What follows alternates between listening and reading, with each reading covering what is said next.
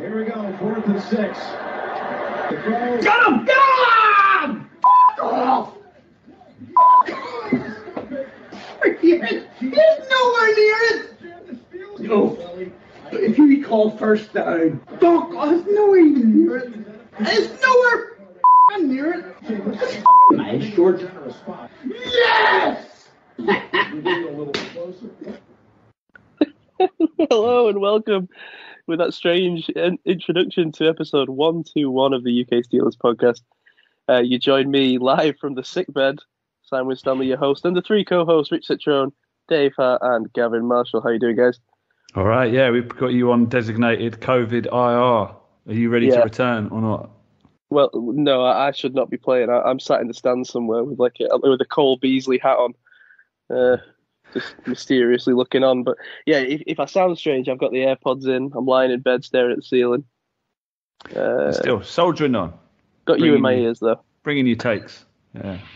Uh, very, very limited takes this week. uh, just an explanation. That little clip there was uh, was an edited version of something that Dr. Neil Ogle put up on Twitter of a dude like encapsulating, I think, what everyone went through at the end of that Titans game, where uh, there was a, a very dubious spot, and then it seemed like they were going to get the the, uh, the Titans were going to get the first down, and it didn't. I thought I thought it was a funny little clip to uh, to, to sum up how we're all feeling. But how, are you guys doing, Dave and Rich? How are you guys?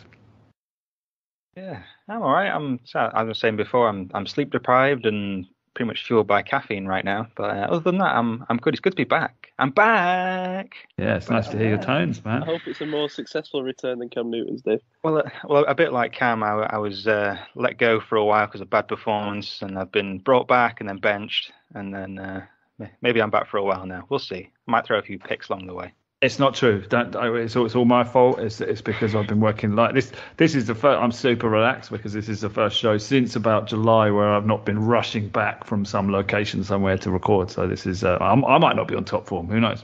You're you're on top form, Rich. We need you to be because the rest of us maybe aren't. I think I am. Yeah, I, I I have been getting plenty of sleep. I'm I'm luckily I'm not Yeah. sick. I haven't been working like you have, Gav. I'm very refreshed and yeah, I feel good.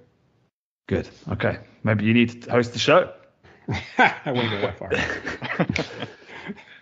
So, sorry, you had you had some um, uh, some issues with the game, the Titans game. Is that right? I'm having issues with the game. I'm having issues with, with my body. I'm having issues with my connection to this podcast. Apparently, I, can you hear me properly? I, I uh, everything cut out for the last thirty seconds, but then I heard that, which seemed uh, which seemed like a direct question to me. So I'm going to assume I didn't miss anything. I don't think so. Just us, you know, a bit of small talk. But uh, yeah, what happened with you in the game then? So, um, and, and shout if uh, shout if I cut out. Um, I was in London this weekend, right? As I told you all, uh, visiting some uni friends as we do every year for Christmas. And uh, foolishly, we did this at the start of the Omicron wave, right? Because then on the wave, although maybe it wasn't Omicron as we found out later, but we didn't know this at the time.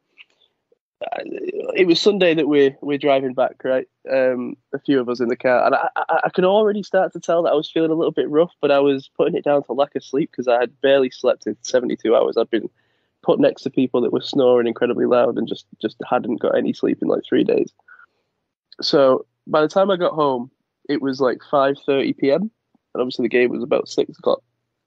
And I was like, okay, I've done this a few times this year now, where I've like been doing something else, so I had to black out the game and watched it uh, like a couple hours later. And I thought, okay, well, I- I've got used to this now, and if I'm just sleeping, I can do this and just kick off the game as soon as I wake up. Only to realize that the game was blacked out because it was on Sky, which isn't a problem if it's live because I could watch it on Sky, but I can't. There's no there's no way to rewatch the game on Sky if you know what I mean, and it's blacked out for 24 hours. So there would have been no way for me to watch the game until Monday at 10 p.m. so I was like, there's absolutely no way on earth I could avoid school until until Monday at 10 p.m. So so I was like, oh dear, what am I going to do? So I kept waiting and waiting and waiting until it was about Monday. Uh, I want to say like 12 noon. I was like, this this can't go on any longer. I haven't looked at my phone for about 12 hours, and I, so I ended up having to watch the uh, extended highlights that were on it. No, it was 10 a.m. on Sky. That was it. They had like an hour long show of extended highlights, and that was how I ended up watching the game. So uh, missed out. I think on a lot of the nuances of this one. Oh no, it was a, it was an up and down an up and down game, and I'm really not sure what to make of it. I don't know. I mean, maybe maybe you maybe you got more of a sense of it well- watching it in a, in a compressed format than than than us. Well, this is what I was going to say to you because on the extended highlights, and they are, to be fair to them, they are pretty extended. You know, like, they don't, they cut out obviously a lot, but you know, I think all of the main stuff is there. Uh, I, I probably saw the Steelers' offense for a grand total of three minutes. so, uh, does that tell me the tale of the game, Gav? Uh, there wasn't a lot of offense. No, you're right. It was just Steelers' defense turnover, turnover, turnover. yeah. Uh, yeah, and then Not there was maybe like three- a couple passes to James Washington. Yeah, in three minutes you can get the broad strokes of the offense. I think. I, I don't think you need to see a whole lot to actually get the understanding of what went on. So I mean, there's a lot of missed points off turnovers. That's for sure. mhm. Um, but great that they were getting all those turnovers. I mean, I mean, we talked about you know the Titans, their Achilles heel is giving up turnovers, and that's what they did. So in some ways, you know, the script it was went went as a script, and I, I, I didn't have that much comp. I thought that I didn't think the Steelers were going to win this during the game, to be honest. The way the way they started. But yeah, I mean, they, they came back, and I don't know. I still don't know what to, what do we make of this offense, man. I mean, just so limited, so predictable. I mean, Najee only had had 18 yards on the ground on 12 attempts. I mean, Claypool was Really, it was that bad. Oh yeah, Wow. it was bad. Um, I mean, we had uh, luckily a fumble was wiped off the board by a roughing the passer at the start of the fourth quarter. That could have changed the whole game. And then you know the touchdown was was. I mean, there was a whole thing years ago about Ben not doing QB sneaks where he did two in a row in this game. One of them being the touchdown. I mean, I mean, they were here we go, the classic Rich grind. Did you, did did that piss anybody else off when they saw that? I mean, it did a little bit, but I was glad they scored it. I mean, what what what? Go on. What are you saying? Okay, how many years and how many multiple coordinators have we been through where we've been we've had fourth and ones. We need one yard or fourth and a half a yard. Mm. And it's like Brady does it all the time. He's not nearly as big big a guy as Ben is as far as weight. Um like they would never do it. Never. It wasn't even the, in the playbook. As much as I like Haley, he's my favorite offensive coordinator we've ever had. It wasn't even in his playbook. And Yeah, then but- it's like all those times, fourth and ones, that we could have won games because we couldn't convert. And now, now they decide to do it when he's an old man. Like, I, I don't know, man. That just that blew my mind. I was happy they scored, of course, but come on, where was this for the last freaking ten years? Where was this play? I know.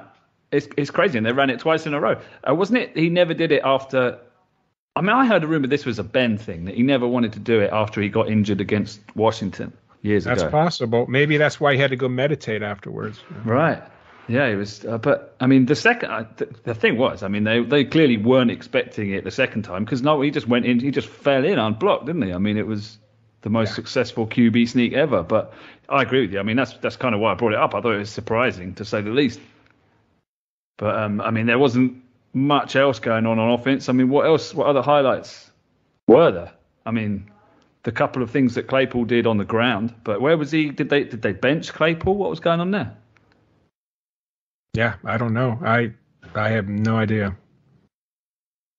It's a strange one. I mean, it sort of felt like it. Was he being punished a little bit? There's a It number of seems- uh, strange things I think, and sorry, sorry, Simon. Uh, just another s- uh, strange schemes, uh, uh, schemes, strange personnel usage. You know what was what was why was um, Sutton starting opposite of Haden to start the game? You know that first play of the game is a touchdown if it's not for Wormley. That's a touchdown. Wither, Witherspoon has been our best corner the last three games. He's the only corner in the last three games before this before this last one against the Titans that has con- contested a pass. The only one. All the rest of them, the pass is caught and they make the tackle. Yet Witherspoon is on the bench to start the game opposite of Haden. Why? And then you hear Butler and he goes, he goes, oh, I want him to get a greater sense of urgency. He needs to he needs to build up his sense of urgency. What? Are, have you been watching the tape the last few games? Have you been looking at what this guy's been doing? He's by far our best corner, but he he's not starting the game. Sutton's there, and as usual, Sutton's burned like toast, and it, it would have been an easy touchdown if it wasn't for Wormley. Yeah. I don't get it. And it, it just it seems like the obvious.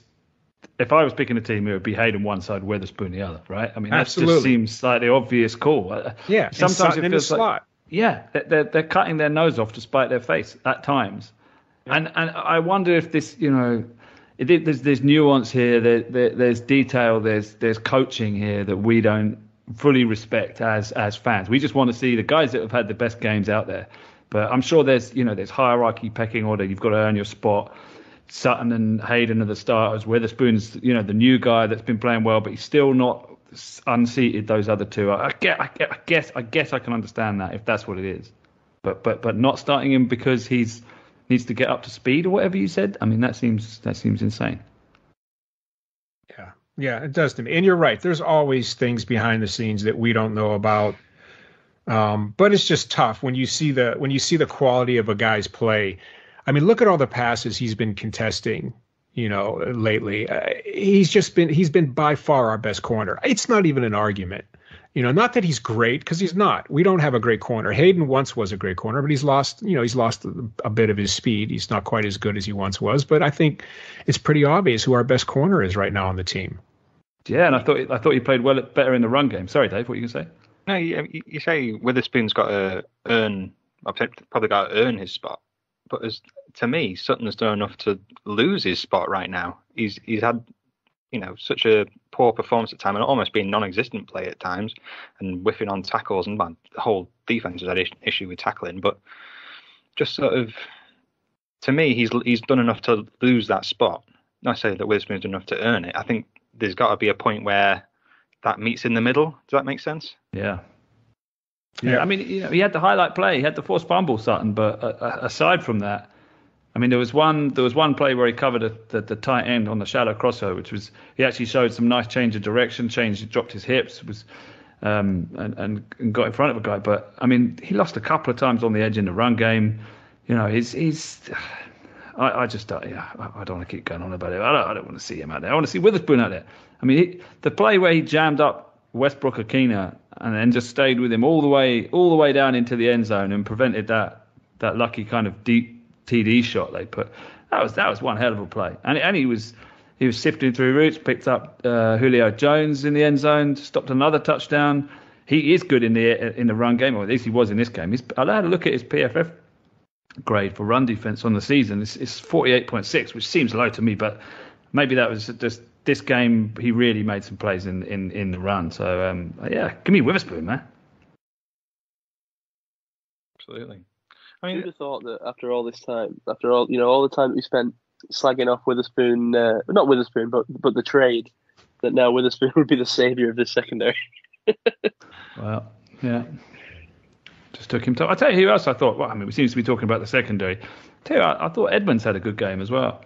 Seven tackles, three assists, and uh, Yeah. the, in, coverage in the third quarter on Hollister, that, that deep corner crosser and made the big the big pass breakup. Was that? I think was he the guy that you were saying that made the first guy to make a uh, play on the ball outside of Witherspoon? Was that him? I think, and he nearly had the pick.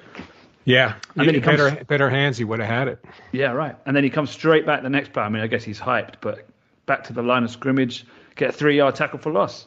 Um, and the only the only big play he gave up was the 12 yard outside Hilliard run in the fourth quarter. But I, th- I thought Edmonds was held, but he, he just didn't protest it, so the, the flag didn't come. But yeah, it's a great game from Edmonds. I thought really stepped Yeah. up. I agree. Yeah, he did play very well. I mean, Ed, Edmonds and Minkah both had good, you know, good Oh, yeah. games. It, But the, my, my concern is the amount of tackles that I mean, Minkah led the team with 12 tackles.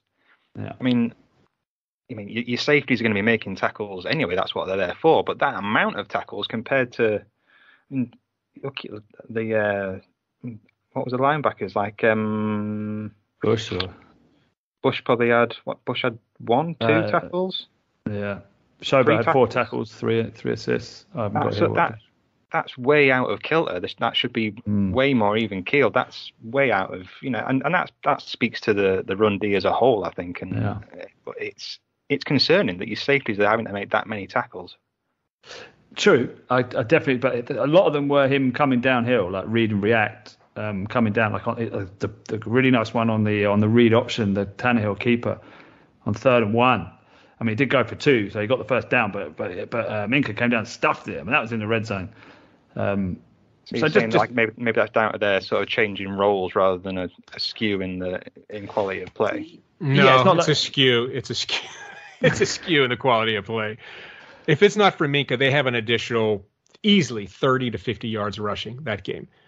There's been uh, there's so many plays where you know they gets past the first line of defense, Schobert and Bush are locked up, and Minka flies down and, and makes the tackle. He he was phenomenal that game. I think he has 103 tackles, which is his best of his career, and there's three games left. He's probably going to break the Steelers single season tackle record.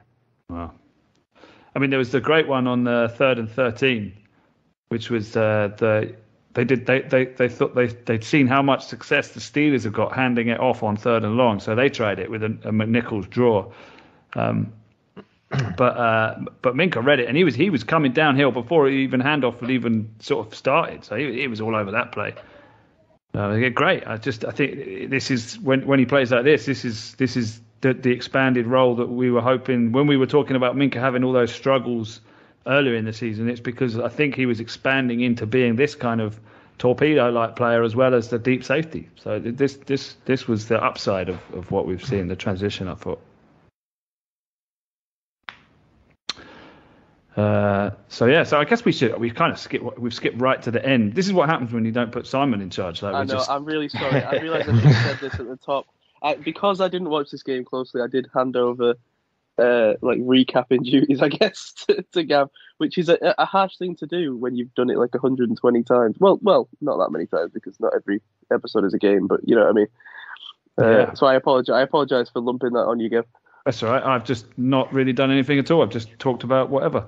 No, So- you know what? That's okay because I mean, you know, this maybe this podcast is just going to flow into whatever subject of the game. You know, we all have things we want to talk about, and we'll just mm. flow into it. I mean, I, I think it's all right. It's nice to switch it up every now and then. It's a conversational show. True, true. Very conversational. Where should we go next? I mean, we've not talked about Ben or the offense really.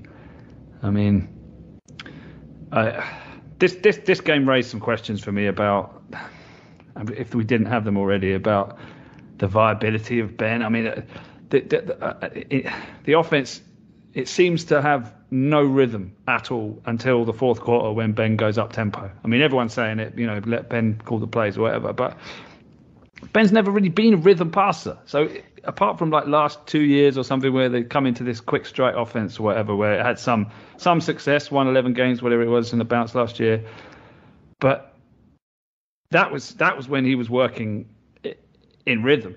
It, it, it, we've been saying he's been pump faking too much. They're not even pump fakes anymore. He's double clutching. He's he's double, triple, quadruple clutching the ball. He's he's looking off people, and and he doesn't seem to have the arm to make the big. He's not that backyard baller anymore. He doesn't have those those big arms.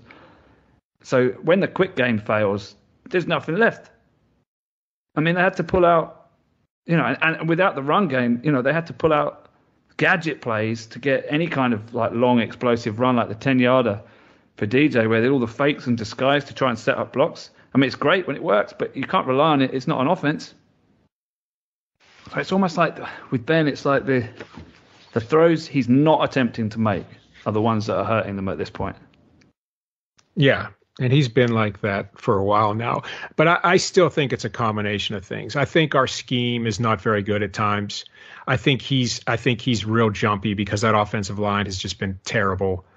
Uh, I, I do. I, and he's not he's not what he used to be. We all know that. But I, I still think it's a combination. I mean, look at the schemes. Look at some of the schemes. Okay, the play action they did um, where where uh, Dupree got his sack. I tell you, Moore did a great job with Dupree. I was super impressed with Moore's job against Dupree because Moore did not give that sack up.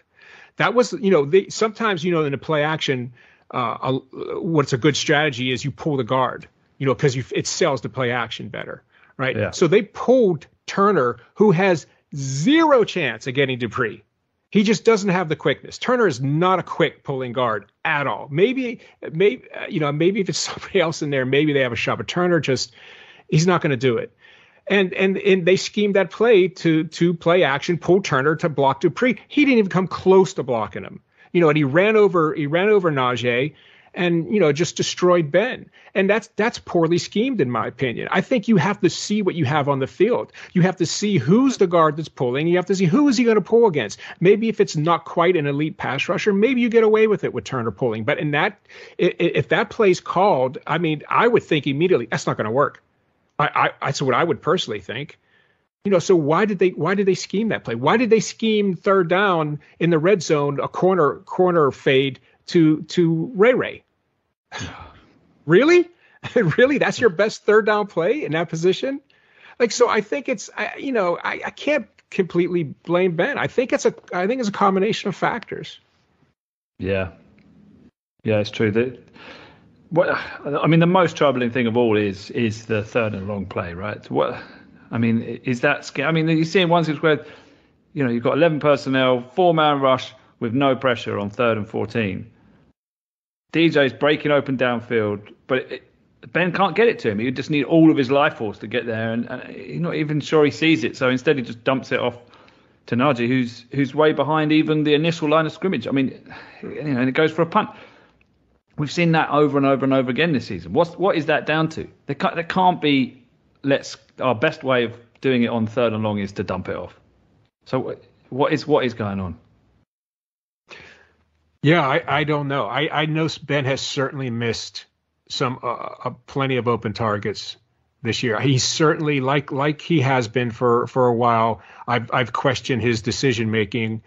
You know, third and short, third and one, and he's trying these these deep sideline routes to Claypool. Like I, have questioned that all the time. You know, I, like last game we talked about you know Johnson being wide open over the middle, and he, he tries to hit a long, a deep pass down the sideline to Claypool. He, I definitely question his decision making. You know, it's hard to say exactly what it is. I mean, unless we're in that room, but I'm sure, you know, I'm sure he has something to do with it as far as you know what his choices are. What was that like weird basketball pass? The like the chest pass to to Najee in the, on the first drive. Do you remember that? So, yeah. What was that? Simmons' pressure was was picked up uh, by, by Muth pulling, but but for a second there, it looked like Simmons was like unblocked right in Ben's face. So I, I just wondered if that was that was what did it. Like he's just he's just scared. Like he's worried he's going to get hit. I mean, he's taken quite a few licks, hasn't he, this season? So maybe it's that. Maybe it's just he's starting to see ghosts. I think that's part of it, and I think with good reason because it's not always ghosts, right? A lot of times the guys are right in his face. I mean, how many times do we have to watch that? You know that that that that video you showed of uh, of um, Kendrick Green getting olayed. You know, I mean, hey, that's not the first time that's happened.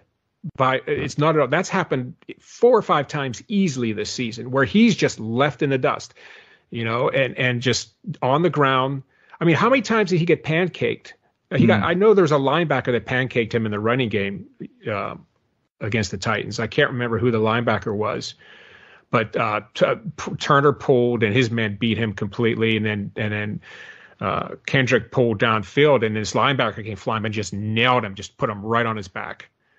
Yeah. You know, he just there's just you know it's I don't you know like I uh, like I said I can't you can't completely blame Ben for for seeing ghosts because you know sometimes the ghosts are real.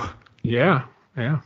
It's weird with Green, isn't it? I mean, because he he released that that Twitter video of him like benching 700 pounds or something, right? But what's up? It's like it's not his strength. It's like his explosion or his, his power or something. He just doesn't have it. I mean, was that was that like the, on the screen where he got folded back? Is that the one you're talking about, or is it a different one? I mean, he got he was getting pushed around. I mean, he was actually used to plug a hole at one point. The the, the um the, the the defender just picked him up and clogged the hole with him in the way of Najee. I mean, it's just he's just getting bullied out there, really, isn't he? I mean, is it is this something that maybe second season he can be a bit stronger? He can put on get on his man body, or or we write yeah. him off? I think no, I don't want to write him off completely. I don't think he's the answer. If you ask me, my instincts tell me he's just not it. Um, but I wouldn't completely, absolutely not write him off. You know, get him on a, a really good strength program and and uh, technique. That's what he really needs. I think. I think his quickness is fine. I think his strength and his technique are severely lacking. I don't, I don't think it's an arm strength thing. Like I say, if he's you know he's able to, to bench these heavy weights, and he, he's he, he looks like a strong a strong guy. I, to me, it, it, seems to. I mean, as a guy who's never played the position and never played football, it's more it is more of a technical thing. So it's you know the way you coil your body, the way you anchor your feet into into a into a hit or something. It's it's all that stuff uh, stuff coming together, not just how strong are my my guns. You know, it, it's it's a whole a whole body strength, if you know what I mean. Yeah, seems to be explosion. Si, you all right there, or have you slipped off into some kind of coma? No, sorry, I am here. Um, sorry, man. I just, uh, yeah, I, I didn't really see a great deal of the offense. I think what struck me was that that we won this game because of turnovers, right? What do we have, like four or five turnovers in this game? Mm. Four, uh, I assume. Loads. Uh, sack, like sack, sack weren't turnovers, but they were good plays. Uh, interception, uh, fumble, yeah. And that's literally what this team has not done all year. Um, and I, I, I think Tony Romo was saying that that's the only reason the Titans lose, right? Is because they're constantly turning the ball over. Uh, and if they don't do that, they tend to win, which I mean seems obvious, but we haven't done that all season um, I, I, just I just felt like it was nice, and I, I, you guys sound uh, a little bit more negative talking about the offense and stuff than than what I took away. maybe it's because most of what I saw was the defense, and uh, to me it felt like all of a sudden this defense was making plays, which was exciting to see. Um, it, it's it, it's strange. It's it's a it's a weird thing to see this this this defense making plays because we've not seen it all year, but uh, is this something we can build on? Uh, I mean, or is this just is this just the fluke? Is it, are we going to go back to uh, no playmaking on defense next week? I think they can. I think they could definitely build it. I mean, they are they are creating a lot of turnovers. I thought I thought the uh, the linebackers played a lot better in, in with their gap discipline, as in Bush and Schobert. I thought there was an improvement in their play. Maybe Rich, you're going to disagree with me, but I also thought what we saw in this game, which we hadn't seen in ages, was was was uh, blitz pressure coming from the linebackers, especially with a bigger committee or a platoon of linebackers with Spillane and Marcus Allen, um, really bringing some decent pressure. So I think going forward, see more of those guys and see more of a committee approach rather than just starting Schobert and Bush and just yeah. letting Sue play the whole game. Unfortunately, Marcus Allen's I think hit the COVID list. Sure. and, yeah. and Bush's as well. So. Yeah, Bush's as well. So it looks like Spillane and and Schobert will be back there. But I was I was impressed. I thought Allen had a good game. I thought I thought he made a real difference in in Dimebacker and and but especially in his blitz pressure. You you were getting meaningful contributions from um, Taco Charlton and, and from Tuszka as well. Mm-hmm. So uh, you know credit credit to that. And I feel like I uh, belittled Taco Charlton last week, although it wasn't my intention. Um, he did, yeah. He, he had a sort of solid game. Both him and Tuszka, both you know, he, Chart made the pick. Tuszka made. I think they had three fumbles, didn't they? Fought three forced fumbles. The Steelers. T- uh, Tuszka made the, the, the last one by getting around the edge. Uh, but, but both of them were kind of splashy highlight plays. Were really. Yeah. It, I, I, thought Wormley was actually the better player out of out of all those kind of squad guys. Thought he had a great game. Is um is Buddy Johnson going to get a second a second look in, or is, is he? Did he have a foot a foot injury or something? Mm. I don't know who's got the injury report. Si, you this is this is, this is where we fall down because Si, you usually have the injury report, don't you? So. Oh, I do. Uh, I, I, I, know he was inactive. Twenty-five minutes ago. He was listed as as uh, inactive last week, but I, so does that mean that he's not? I'm, I can never, I can never uh, get. I, I didn't see his name on the injury report when I saw it today, but I don't know if that's because he's uh, he's been yeah. chucked off. Well, let's hope so, because with uh, with Bush and here we go. And, so Wednesday, December 22nd, uh, Joe Haden did not practice coach's decision. Pat Freiermuth concussion. That that was a nasty hit, by the way. Mm. Um, Chris Wormley groin. Uh, ben, as always. Buddy Johnson thought he's a full participant. So. Okay. So, Rich, do you want to lay into Bush and Schobert or? well, I, you know, I thought I thought Bush played better uh, in in the pass defense game.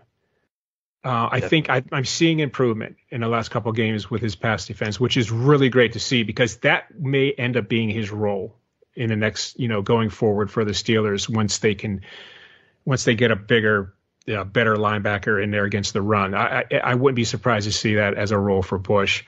Um, he he just he just lacks he lacks the size and strength to be effective against the run. Um, if there's a play, it was uh, it was about four, 14-27 left in the third quarter, and um, and Bush just gets just manhandled by the tackle, like he has no chance of breaking the and, and he just gets pancaked by the tackle.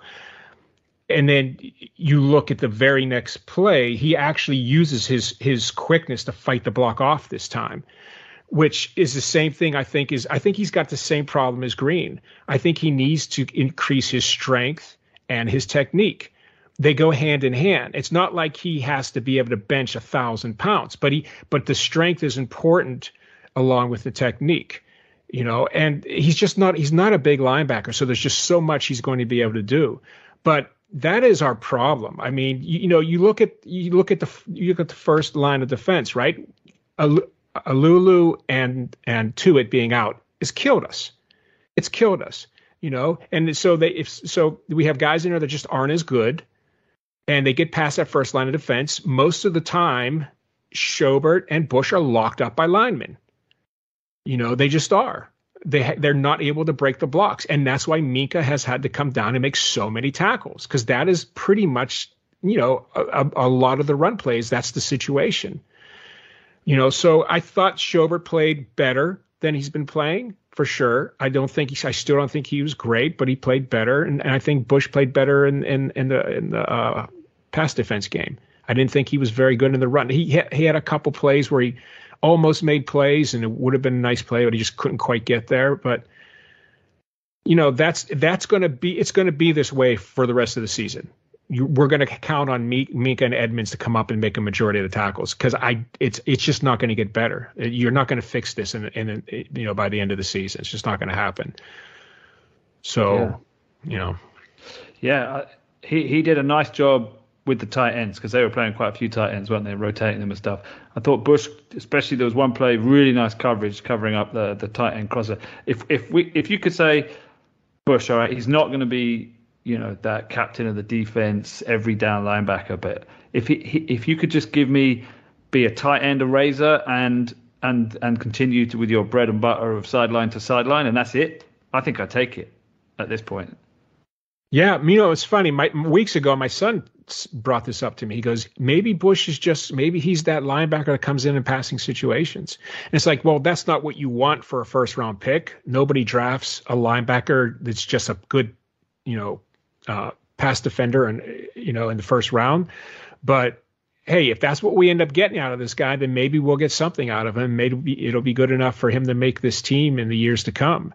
You know, hopefully he continues to improve because uh, you know covering in zone, it's it's it's, it's, a, there's a learning curve there. It's a lot of spatial awareness that guys don't necessarily have naturally. You know, there's a lot lot to learn about covering a zone. A lot of instincts involved, a lot of experience involved.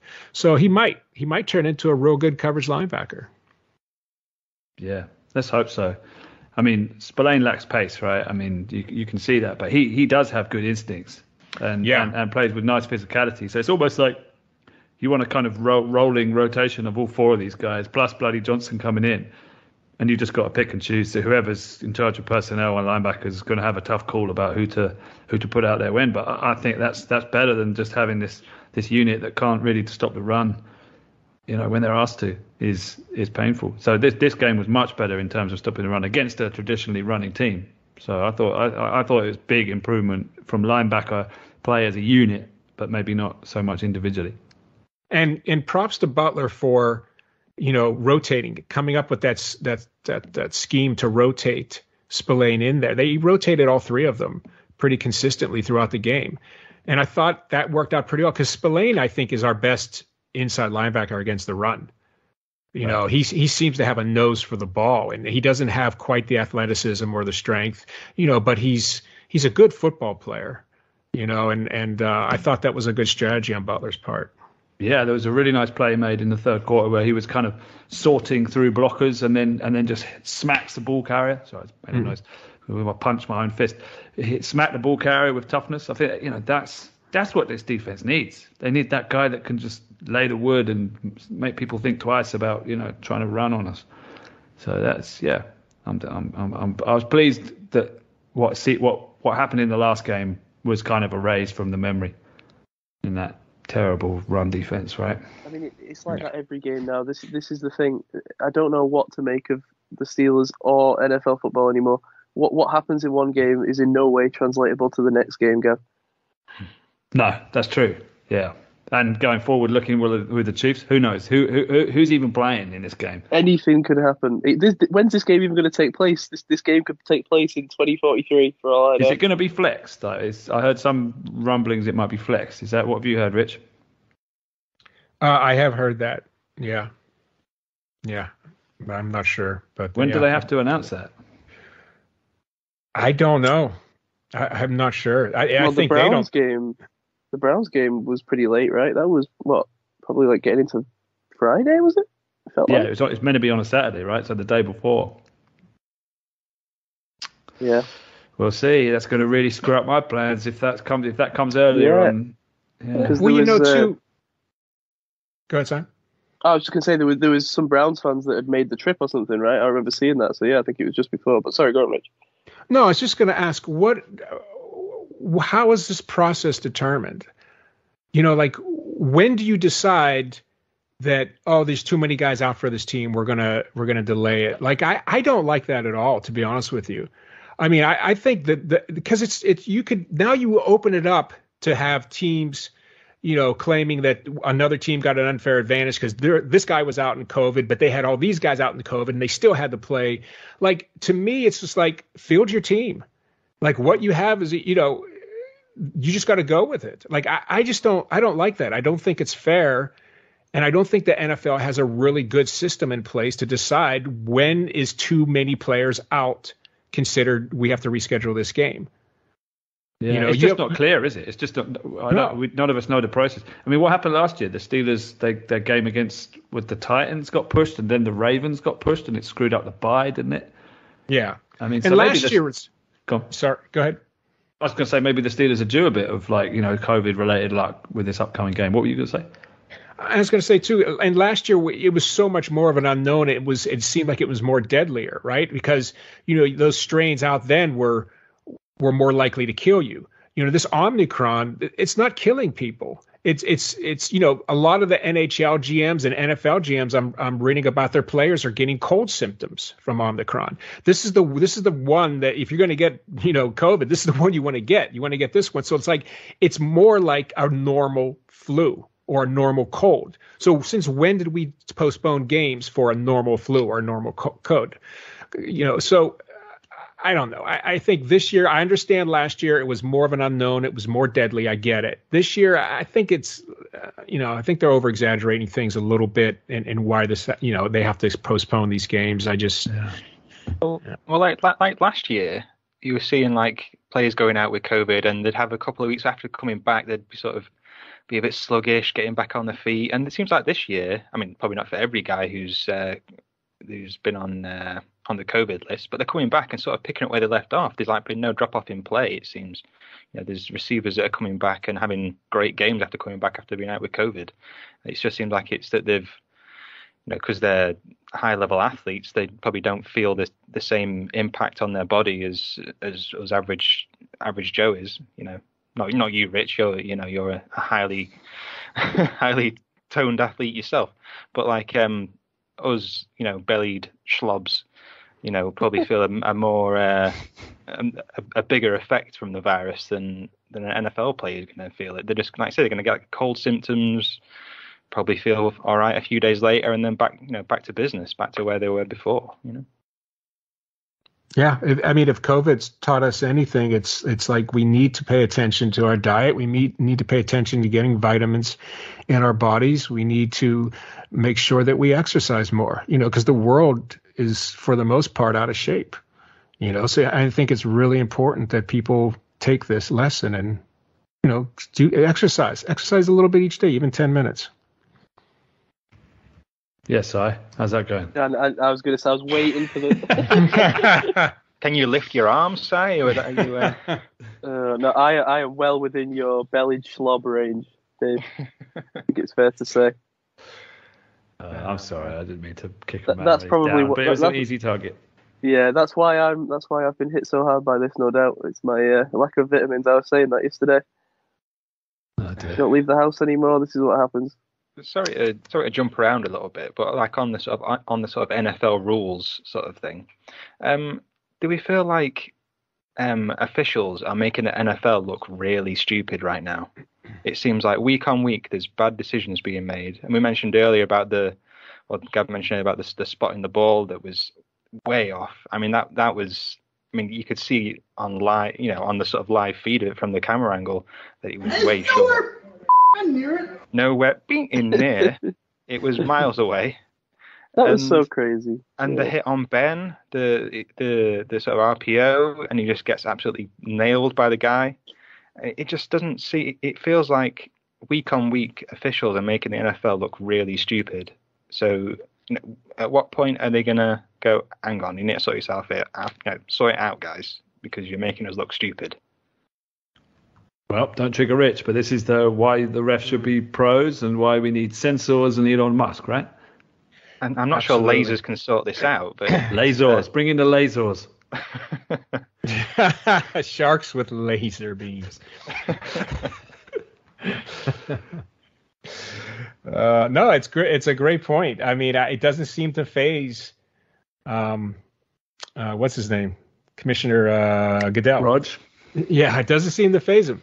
I, I don't get it either. That he had a he had an off season official uh, training thing in, in place, and he they they canceled it. I don't know why. I don't know if it's because of COVID or what, but I, I, it's not in place anymore. But they need it absolutely. You know, it, it was if you it was interesting because if you look at Vrabel on the sidelines, he knew his only shot would to be if they measured it so badly that they get they gave him the first down and then Tomlin wouldn't challenge it. That was like his only shot because as soon as he saw that it was even the, even with the bad spot they still didn't get it. He knew he couldn't challenge it because it was it would have been worse. The ball would have put back further, you know. So yeah, they're bad. They're bad. I mean, they're right on top of it. That guy, that official, was right there on top of it. He had a good view of it, just like Minkah's hit last week. The guy's right there, had a great view of it and they just they consistently screw up. You know, I've said it for years, and I'll and I'll continue to say it until it changes. They're the worst officials in any major sport.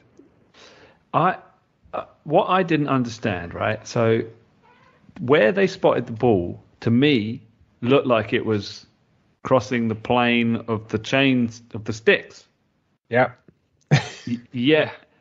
Yeah. They, they said it wasn't a first down because of the video. The video of the spot clearly showed that the spot was terrible. But yet they didn't change the spot. They just said it wasn't a first down. So is it was that like was that a moment where suddenly the video overruled the the measuring crew and the spot, but without any declaration that it did? Because it, I mean, going by by the by the measuring stick, it was a first down, right? Because the spot was terrible. yeah. Yeah. I mean, am I missing something? So what's so what's happened here? Are, are we being lied to? It's, it seems like we're being lied to here. That that's what I. I mean, I was pleased. I mean, this was was my reaction. Yes. But but you know, I, I always thought that unless unless there was an, an official overturn, then the ruling on the field, that's that's that's what you go by. So it's very very murky. I thought if I was a Titans fan, I I, I would I would be aggrieved. I thought at the at the ending there. What what what, what do you think about that? I don't. How can you be aggrieved as a Titans fan unless you were blind? Well, because because they didn't overturn the decision. They didn't over, they didn't say the spot was wrong. I mean, you saw the measurement, right? The stick goes uh, It- out, and yeah, the ball it- is touching right. the, beyond crossing about- the plane. It's about process, right? I think this is where things get confusing because in the last two minutes, the coaches can't challenge, right? So all decisions and overturns and what have you and reviews have to come from the booth. So from what I understood, they spot the ball, which was a horrible spot, which gave them the first down, uh, or, or very close to it. nowhere fucking near it. Um, but then then the review crew goes and looks at it, right? And then they move it back a little bit, right? Or do they not move it back a little They bit? They didn't seem to move that. it back. No, they didn't move it back. They measured. So so I I think it's kind of um, semantics, right? Because one of two things would have happened. Either they would have decided the original spot wasn't quite a first down and the game was over, or they would have then gone to the review and moved the spot back. Um, I don't think there was any way they were getting a first down. Right, but the process isn't clear. Yeah, the process isn't clear, but but I think that's more to do with the order that things need to happen and whether I the mean, I second mean, thing needed the outcome was correct. Don't get me wrong. Yeah, yeah, There's no way that was a first down. Nowhere near it. But it was very murky. It- it's just unnecessary, right? I think that's the point. I think every single person watching that game could see that he was about two yards short of the first down. So that's Uh, what I mean. So is is this the beginning of the the, the sky judge, the, the the video officiator, just overruling what's going on in the field? That's what I'm saying.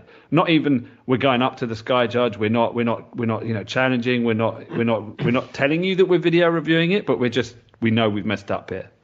Yeah. Maybe it's a good thing. I mean, it might well be a good thing. I mean, the the outcome was correct. So Well, maybe, maybe this is the start. That, right? Th- th- Yeah, there's been a there's been a light version of that, right, where they've been able to just expressly change calls that are obvious to the video review guy, right? Yeah, but it didn't even change it. Sorry, go on, Rich. What you saying? Yeah, no. Uh, I was going to say, well, think about this, guys. All the years that football has been played, and all the advancements we've made in equipment and different things, and we're still using two sticks and a chain. This is my favorite Rich take. Are you There- saying you there- want lasers, Rich? Uh, well, I mean, there's not a better way to to measure that. I mean, there's got to be. You you know, I mean, Yeah, chipping the ball. Yeah. I mean, you, you- you like I, I don't get it. Why not? Is it because nostalgic? I appreciate nostalgia. I if that's the answer, okay, cool. I, I get it. You know, I, I like to be nostalgic, but I, it just it just shocks me that that's still the most accurate way we in today with today's technology that we have of um, measuring first downs. I don't Well, know. the thing is, the, the the chains don't really even measure what we're talking about, right? That's the irony of it all. Because I always find it funny when they bring the chains out, because all the chains are measuring is whether where the ball is is ten yards from where the ball was. But that's irrelevant to the spot of the ball. What we really Right. need to understand is where to spot the ball in the first place and how we decide to do that. Because at the minute, you know, you can give or take a yard on either side of where the ball lands sometimes with, with these spots, right? Especially if it doesn't matter, right? If it's not a third down, sometimes, or you know, if you, or if you're nowhere near the first down line, sometimes these spots are really sketchy, right? So, Yep. if you see them coming in from you know ten yards away, trying to run in, and, and the players are trying to move the ball left, right, and center, and it is very, it's a very inexact science, and I think to someone who doesn't watch American football, it must look very odd. Well, hard- Gabs, Gabs, Nothing's I'm sorry. Go ahead, Dave. I mean, it must be hard to spot the ball in like like on um on Ben's QB sneak when he well, for the touchdown. Yeah, Got a pile of guys on top of him. So basically, they're just peeling guys off, and at the last sort of moment, Ben can just push the ball out ten centimeters or whatever with his hands, and that's it. That's that's the decision. No no one's seen it, so that's where. Like like Gav's saying, like whether it's a chip in the ball or, or something that determines that. But then at the same time, you're I don't know. It, it does it does take away that element because you're overturning decisions that would have been given anyway. Just just assume that that's what had had happened. You know, it it, it, becomes too almost too precise. I, know that's a bit of a, a, a nitpicky sort of thing, but it becomes too precise then. Well, I, I like Gav's idea, and you know, if you if you guys have ever seen how CGI is accomplished, you know, the performers wear sensors, you know, um, on in a suit, and the the the movements are pre- are precise. They're exactly what the performer's doing, you know. So yeah, chip the ball, and have sensors underneath the turf or in in the sod, whatever type of field you have, all over the field and you would get an exact point where the ball is every time. It, every time you would get it, and you could you could program the system that runs it for you know forward progress and stuff like that. That wouldn't be that wouldn't be hard. I mean, it would be so accurate. There would be no arguments about it anymore. It would always be exactly right. Yeah, I mean, I, you, the, you mentioned VFX on film sets. You wouldn't believe the things they do now. They they do the uh, uh, what do they call it? The lidar scanning and the the um, uh, HDRI, where they they like scan the room and then they create like a digital representation of the room, but it's like immediate, and you can like scan around inside the room. You could easily like do something like that where you've you've got like a digital representation of the pitch, and you've got like the the the chip and the ball would just move up the pitch, and you just all you need to do is have some guy with a computer just looking at where the ball got to. It's so easy. So let, let's let's yeah, all right. We've we've decided. I think time for sensors displayed. Yeah, that, that's our official stance moving forward. Yeah, which is right. Um, Okay, guys, listen. One one last thing before I before I go because I'm, I'm feeling kind of rough. I'm going I'm going to head off in a minute. Um, some breaking news though. Um, Adrian Klemm is going to go to Oregon. I've heard they've the been of the sniffing sniffing around. Is that is he definitely going? Sound sounds sounds pretty locked according to uh, according to Twitter But right in now. the yeah. same role? It's not even like Yeah, head coach or coach. OC. Yep. It's line coach. I don't get I think that. Rich, I think it's a good explain. it's it's a good decision. I don't I think he look I, honestly look we all need time to develop. We we don't you know you don't come into something being a, a, a great professional right away. You need time to mature and, and to learn your craft better. And I think he probably realizes that. I think he might. I don't know. I, I don't know the guy. I don't know the situation. But the fact that he wants to leave the pros and go back to college, which very rarely does anybody ever want to do unless you're a, a co- coordinator and you haven't been able to get a head coaching job and then you get a head coaching job in college okay then yeah i can see that. But i think it just i think he realizes he might be in a little over his head. Such you know he might you know he might need to go back and get a little more experience and you know and it's possible. Hey and that's i don't fault, fault the guy at all. I think good for him to realize that if that's the case to realize that ab- about himself and to you know to be in a position where he can get more experience i mean that's i, I applaud the guy Yeah. Let's hope the, And there's- the, the replacement is good. What are you going to say? Well, the specul. Well, you know, if uh, if the Broncos fire their staff, maybe uh, certain Mr. Munchak is out on the on the. oh my god don't don't tease me simon Yeah. yeah, we'll take him back in a second. Um, before you go, should we just do Yeah. the picks quickly and then and then you can get out of here and Oh, but return that to would your presume that I had prepared them, Gav. Yeah, but I can I can help you I can help you prepare them. Um, Yeah, I- of course you can. Of course now you I can I can recap what happened. Uh, now tell me if I'm wrong here, but I, I think there was one point scored this week amongst us, and I believe that was that point was scored by me. But has anyone else got anything to say about that? I, I think this season sucks. When, when you pick when you pick the Cardinals to beat the Lions, it's a slam dunk, right? Good mean, what- God. What, What a- happened there?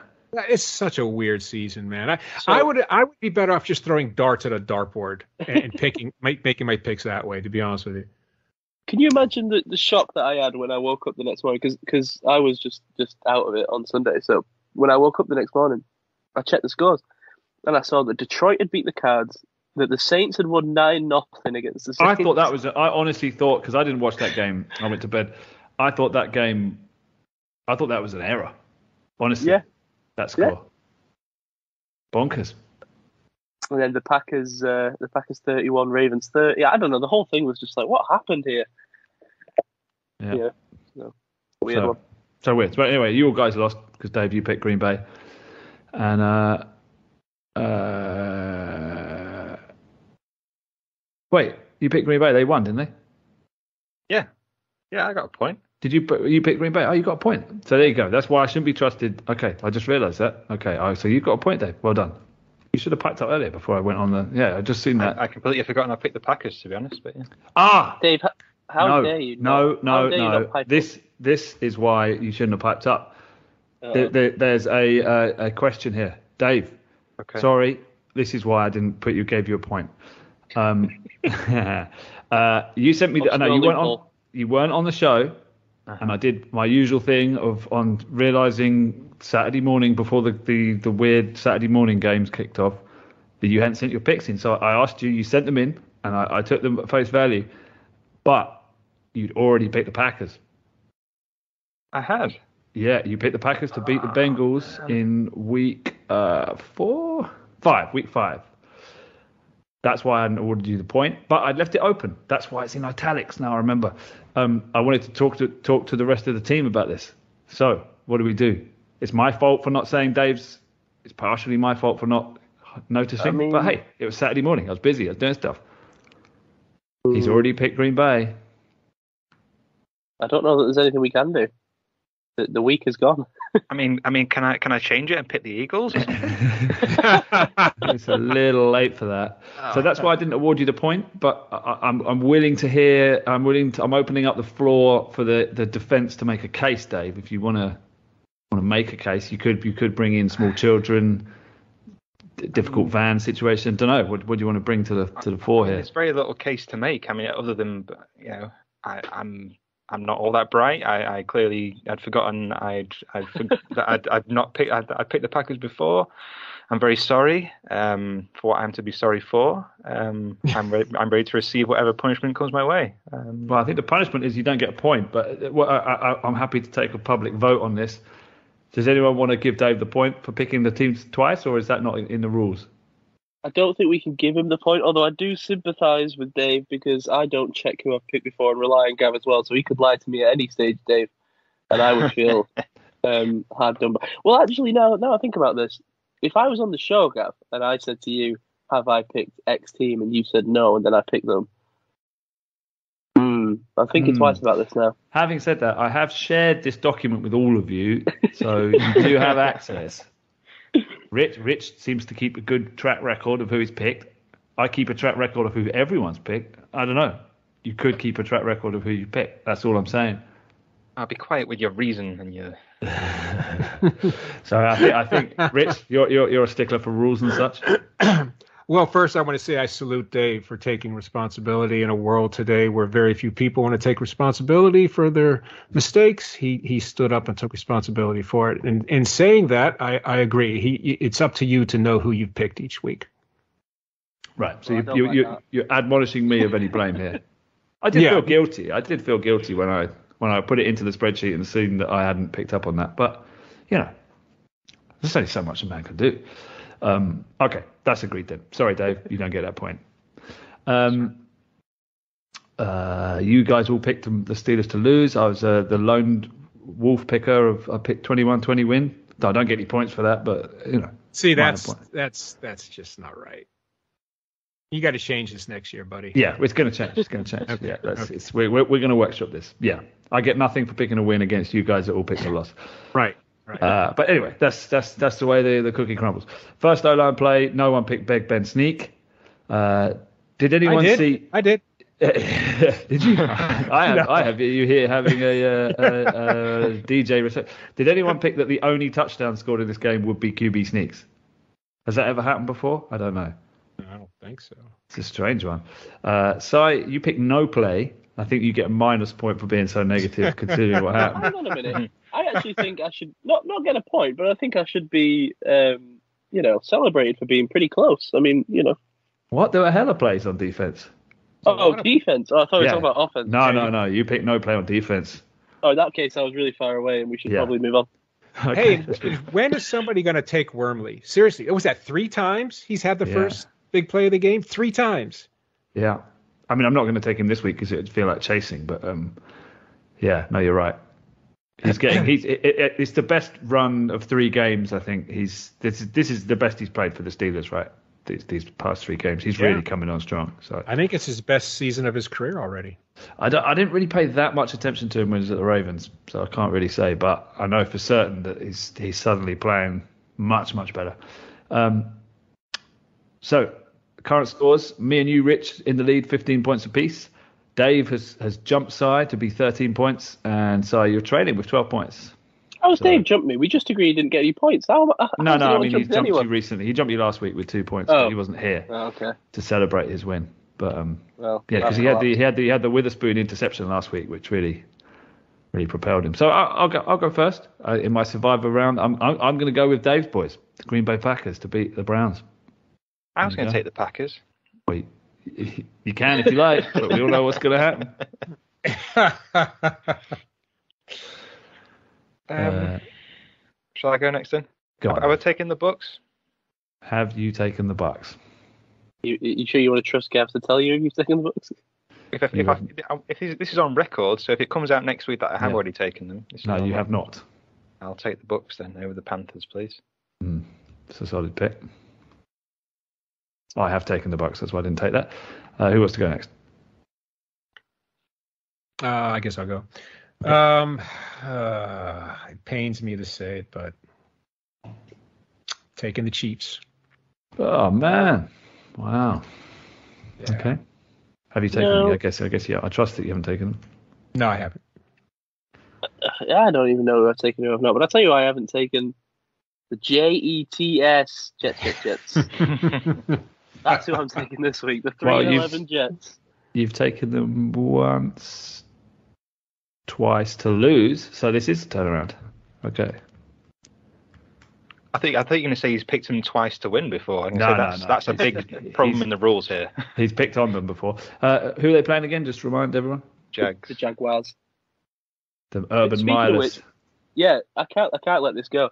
Um, yeah, I'm sure you saw Ketz's Diddler rankings, Mm, uh, which Rich uh, remained unscathed on. By the way, I thought was Yes. interesting. mm. Un, un, completely Yeah. undiddled in his entire Yeah. time on the show. What's this? I don't I don't follow. so So Ketz- Ketz Ketz- sent us. Yeah, go. on. Go, go, no, you go, you go. Sorry. Like, he, he just sent us a sent us an image of his Diddler rankings, uh, based on the things that we'd done, including Dave benching um, Travis Kelce when he scored 60 points in his uh, championship round of the the Kebab Bowl. Um, and my thing was uh, talking about Urban Meyer being in, in the job until the end of the season, at least uh, about six hours before he got fired. Yeah. Um, what, what was yours, Gav? Uh, picking two t- two NFC teams to win the Super Bowl at some point. Yeah, I think Which- that's the winner. Yeah. oh, I remember that. I Yeah, that was good. Yeah. Wait, Yeah. Dave, you said Travis Kelce? Um, In a tight Yes. end premium league. In a tight Yeah. end premium league. He did. Oh, Dave, But he had- why? But he had Mark Andrews. Mark So- Andrews Yeah, saved my skin. Oh, so you, even know- st- you still won. Yeah, yeah, I did somehow. Yeah. I- the gods, the gods are smiling on me. But no, that that was a massive error. I mean, it, to be to be fair, I hadn't really been checking my fantasy all that much lately. I've been sort of Ah. bumbling through and just checking it here and there, and hoping that I'm somewhere close. Um, with, with other priorities going on, but uh, I want to know how big- m- I was projected to score 600 points and ended up with 161 in that league. That's what I want to Oh, know. it's, it's over two weeks, isn't it? That's 600 points, though. Is it not? Oh, does Yeah. it give you the two week projection? Ah, I think so. okay. And uh, uh, Ketz ranked me up for another Diddler ranking. Didn't understand that one. In your league, that you're the commissioner. In my own league, And which I created a changed- scoring system and changed it to a it. double double format win. But it's it's sleeper. It's sleeper does some strange stuff. It, it, it- Is that- you know, is it, it does weird stuff like that. The, the No. Scoring? No, it makes sense, I guess. It- it- you know, it's clever. it's, it's more it, it's more advanced than I was expecting. I didn't realize. I just thought I was going to be. I just thought, you know, I picked up a few good players. I thought I was going to have a good week. That's all. I see. So next now come down to 457 to Dave's 500. So it looks like you're going to win this kebab bowl here, Dave. You're on a 99%, 96% uh, possibility. Well done, Dave. Nice, Nice, Dave. It's not. Sure. It's not done yet. It's not done yet. You can all go. It can all go tits up for me with COVID going on. So Oh, I got Yeah, Justin I've seen Herbert. worse happen. Now you have Justin Herbert, Dave. You can't lose. So, Yeah. Anyway, we've jumped from the halfway through the uh, picks game into the kebab bowl, which is again my poor hosting, uh, or temporary hosting, or temporary uh, uh, interim host, or whatever. Uh, scattergun approach. I like it. yeah, yeah, it's all over. It's up my brain. I'm not sure the that we even exited the game review. So I'm not sure we did, and we We haven't can definitely talked about the minute, Chiefs, right? but we'll save that. We'll save the Chiefs preview for uh, when you're gone. I think Um, I caused havoc here. I apologise. No, you know, th- we, we, we all appreciate what, what you do for this show, which is create order and, and, and bring a certain up tempo rhythm, which is perhaps lost when, you know. well, well, maybe that's what I've Infirm. done here. You see, I, I've created this havoc to prove how invaluable I am to you all. This is all This part does- of my play. This is this is, is definitely definitely working. Right, so correct score. Rich, do you want to you go first because you've picked the Chiefs to win this game. So go ahead. Uh, I have the Chiefs 31-20. Okay. Go on, Si. Yeah, uh, this Chiefs defense has improved a lot, um, but they are missing some. I don't. I don't really don't know because is Tyreek Hill going to play? Is Kelce going to play? I haven't got a clue. I got Chiefs. Chiefs thirty four, Steelers seventeen. Seventeen. I kind of don't think it's going to be that big a blowout though. Nah, forget it. Leave it. That's fine. Okay, Dave. Oops, I Um, put it down as a win there. I lost. I I, ba- I basically have the Chiefs scoring 34 and the Steelers scoring some number in between 34 and zero. I, I have no idea what it's going to be. You, you, you Um, know it's going to be 34 though. It's it's going to be some. It's going to be it's going to be a fourth quarter Steelers mad scramble to try and score some points and probably trying to get somewhere close. So and I guess at 25. Just throwing a number out there. Okay. I'm going for hero pick again, guys. I'm going to get the Steelers to win this game. I'm saying 21 to 19. It's going to be a close affair. I think. I mean, this is all predicated on there being no Hill, no Kelce. Uh, is Chris Jones still down? Um, and and the fact that the Chiefs match up quite well actually with the Steelers in terms of what the Steelers are good at defending and what the Steelers uh, are good at doing on offense match up with what the Chiefs are bad at doing on offense and what they're bad at doing on defense. So I'm going to go for a tight game uh, with the with the with the COVID thing going on and not too many losses on the Steelers and loads of losses on the Chiefs. So I'm going to pick the win just to be different again. What if Kelce and Hill end up playing? Then scratch that. So, win. I, so I mean, I think you know because of COVID, I think we should be able to change our scores before the game. okay, if this game is rescheduled, then we can change them. What if Right. it's just what if it's just you know on Saturday it's it's it comes out that Kelce and Hill are both going to play. Don't you think you should be able to change your pick on Saturday? No, I think I think if if the game goes ahead as scheduled or before, as in so it's flexed into the 6 p.m. slot here in the UK, I think our picks remain. I think if it gets if it gets flexed back into like Monday, Tuesday, Wednesday because too much COVID, and and they're going to get all those stars back. I think then we can change the picks, but I, I, I'm happy to, to stick with my win, even if Kelce and Hill return on the 9:25 Sunday kickoff. okay. Is that fair? I yeah I All right. yeah, Cool. sure. And with that in mind, I'm going to go with a Najee, Najee, sorry, receiving touchdown to be the first defensive play. Who wants to Defensive play. Well, what? You said defensive play. I'm assuming you I mean said offensive play. Offensive. Did I say defensive? I meant offensive. Uh, I'm not sure. Rewind the tape. Uh, who wants to go next? Dave, you've just volunteered. Go on. I was gonna pick a, a Gentry uh, touchdown, but I think I might be a bit too out there. Well, it depends on Muth. Is Muth, is, is Muth going to play? I'm assu- I'm operating on on the assumption that he's not because Right. he's he's still in concussion protocol at the moment. Mm. Um, but and on that that Gentry, uh, wait, what a 17 yard reception. It, it looked Mm. nice. It was nice. Yeah, yeah. It's like like uh, McDonald. So maybe I'm a bit His- his overhyped. name. It was. He did channel McDonald. Rumbling. Yeah, yeah. Not so Uh, pink but- for now. The I'm pink going to go with the uh, the Claypool redemption game. Uh, Okay. Claypool touchdown for me. Wait, rushing or receiving? Uh, receiving, please. Okay. Um, I, I, well, I'll go with the opposite to Dave and say that Claypool uh, is sat on the bench while James Washington scores the first touchdown. Okay. Rich? Claypool reception. Okay. Uh-oh. Wow. What do we think about Washington's game? Because obviously he was much more featured in the in the offense. No thoughts? We didn't No, really talk about him. Decent. I I I, th- I think he's decent. Um, you know, he's not an elite receiver, but I, th- I think he's been. I think he played pretty well. I could really see James Washington next year going to I think like who like like let's say like the Patriots or something, right? And just having a great year as like a number two. Yeah. I think if he was put in a timing based offense, he'd do really well. hmm You know. Put him put him with yeah, I mean put him with Tom Brady. He would be incredible. I just think I think you know you're asking him they're asking him to go up for you know like in, in the red zone in the fourth quarter asking him to go up for contested balls like like they would for Claypool. It's not going to happen. You know. Uh, send him to the Bucs. You know how they love former Steelers. Mm. Or But, the you know, Cardinals. Yeah, the Cardinals. Yeah, you put, but you put him in. Um, you know, that's like a on the on the on the plays where the, the, the Ben got the ball out on a three step drop and the ball was released. Actually, you know, three step, set his feet, throw. That's they're the they're the plays that he makes a play on. So I just, I just think he needs a different offense. I think he's wasted. If you can waste a kind of number two, number three receiver, I just think he's.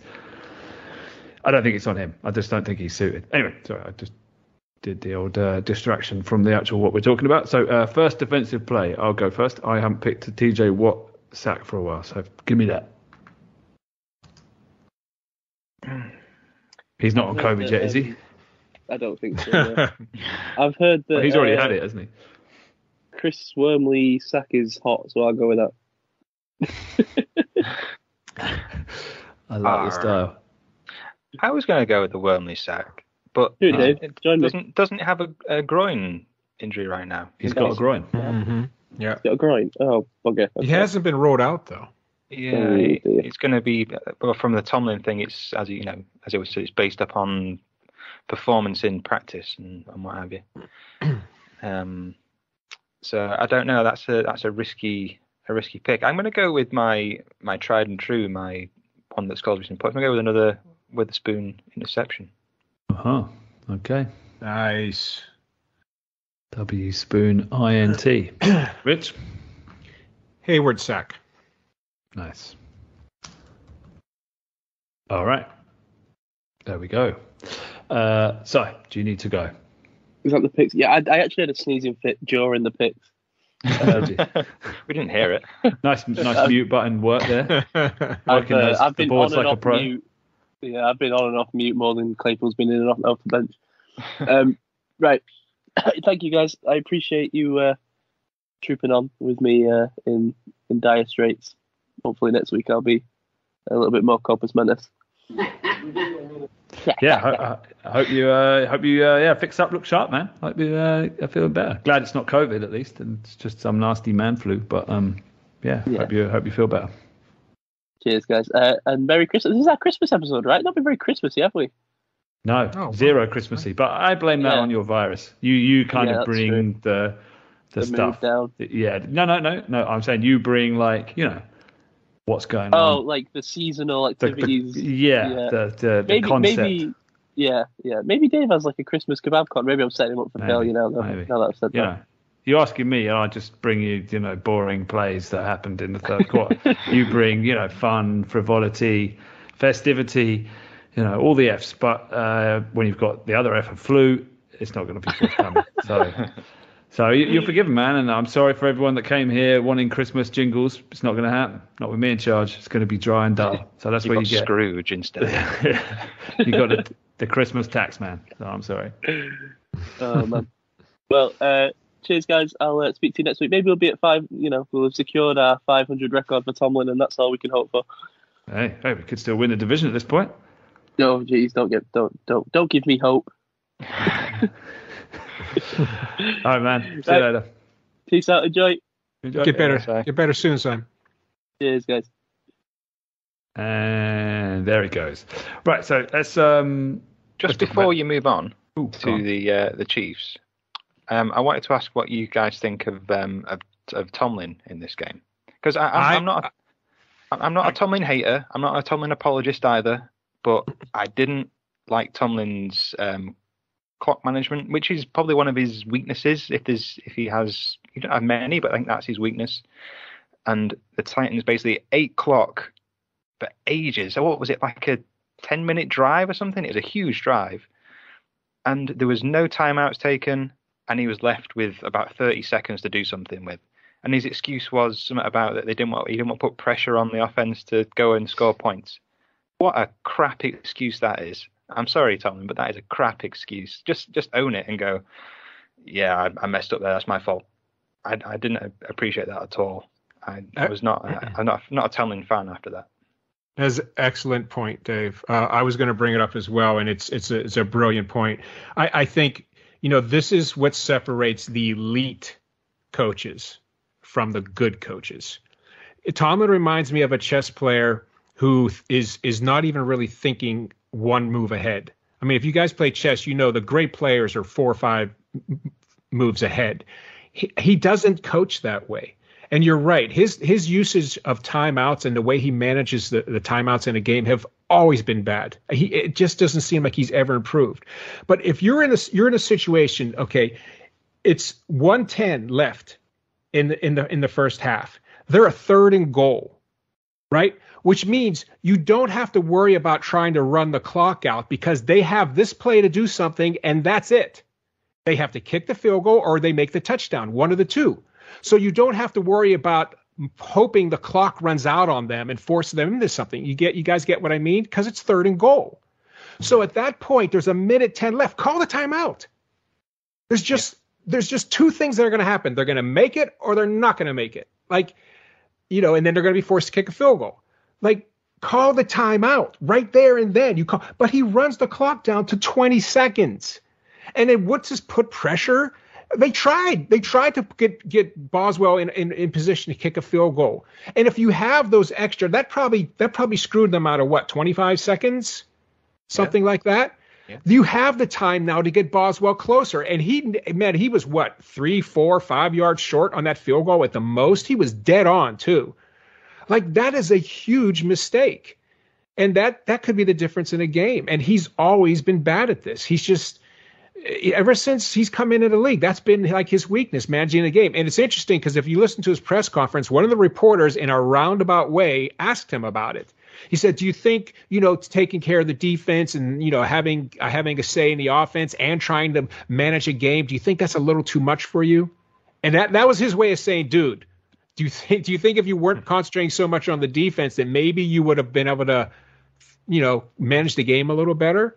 Because it's a it's a it's a valid question. It's a great. He just wasn't direct enough with the question, and Tomlin just you know told him, "Man, I've been doing this 15 years. I feel." You know, I can handle it. I have the experience, but yeah, it's a great point, Dave. It's, it's that's that's that's one of those things where, you know, it's it, it turned out to mean nothing, but it very well could could be huge. Oh yeah, if if if, if this would have been a loss that we were talking about, would have been pointing right at that of why don't you take these timeouts? So you seem to think that you can carry them over into the second half or something. You, you, use them up. They're there. Use them. You know. Yeah, yeah, and he uses the and he has a habit of using the ones too soon in the second half. You know, how Yeah. many times at the end of the close game we have one timeout left or two timeouts left? You know, and and uh, some of that I know is is on on the field. They're slow to get a play in or something like that, and Ben's frustrated. But all that is about coaching too, as well. So yeah, absolutely, absolutely, good point. Would, would there ever be a situation where, because like like for example, Ben can take a timeout if he needs one. Would there ever be a situation where, like the captain of the defense, so like Cam, just goes takes a timeout? With that would, is, is there ever that sort of situation arises? Just sort of overrules the coach, or is that sort of something that's like a no, no, you don't do that?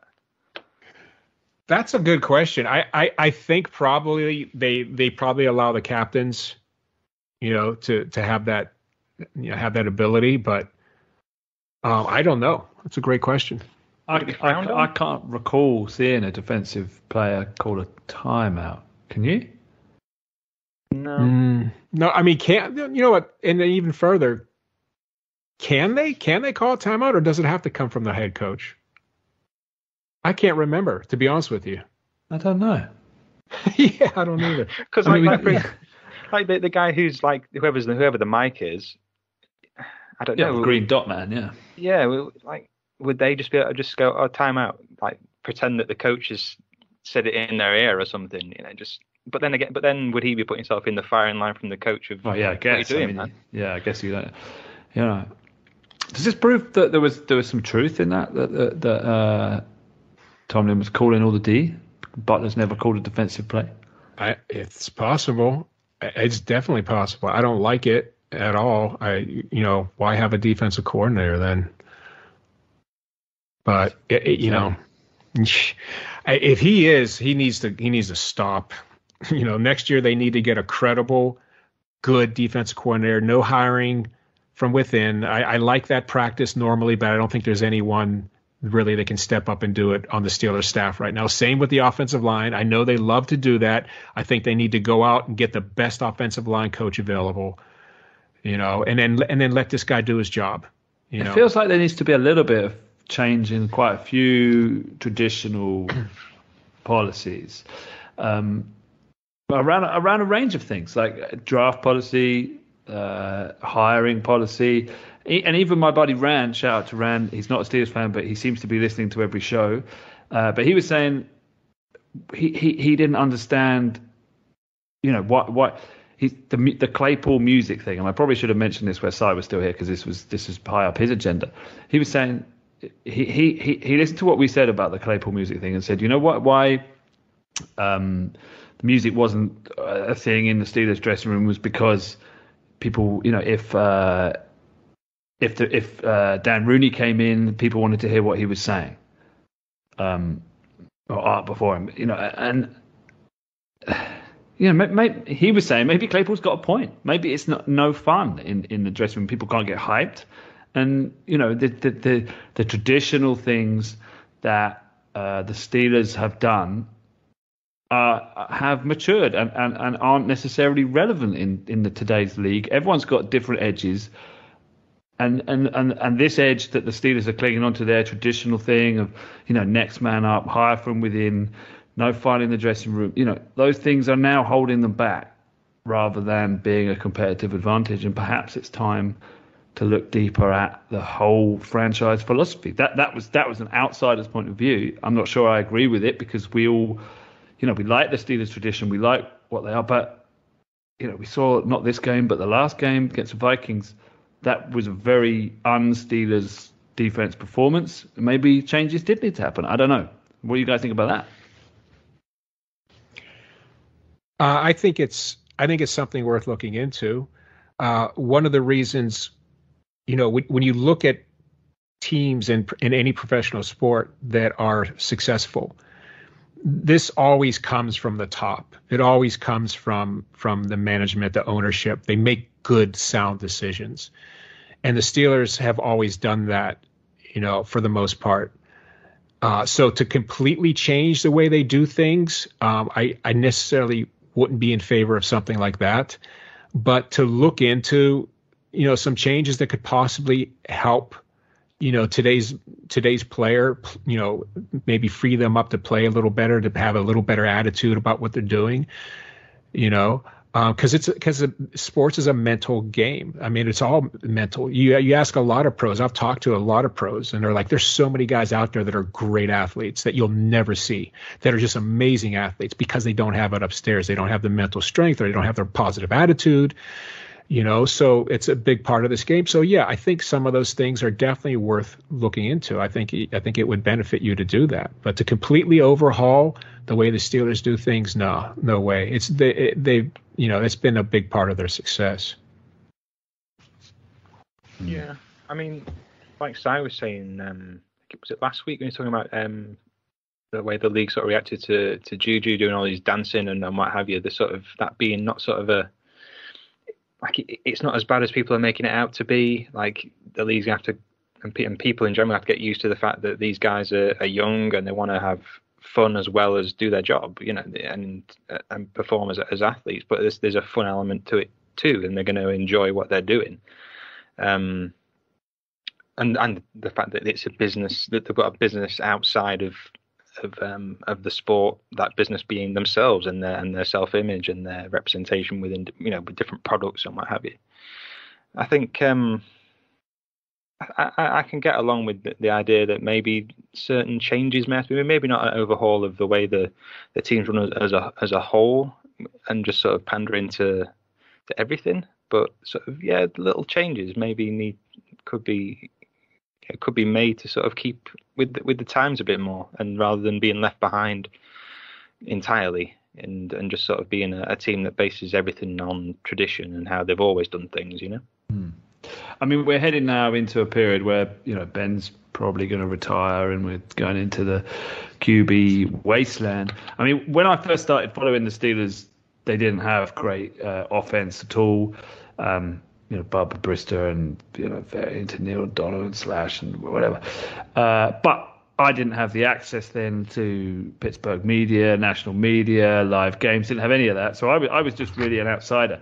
Rich, can you like tell me what what was it like in those times? Were people calling for for, for heads to roll in those down years, like uh, eighties, early nineties? Was was there like this feeling that things needed to change, or what what was was it different to now, or or, or what what do you think is going to be different going into this next period of of of, of wasteland compared to to how it was then?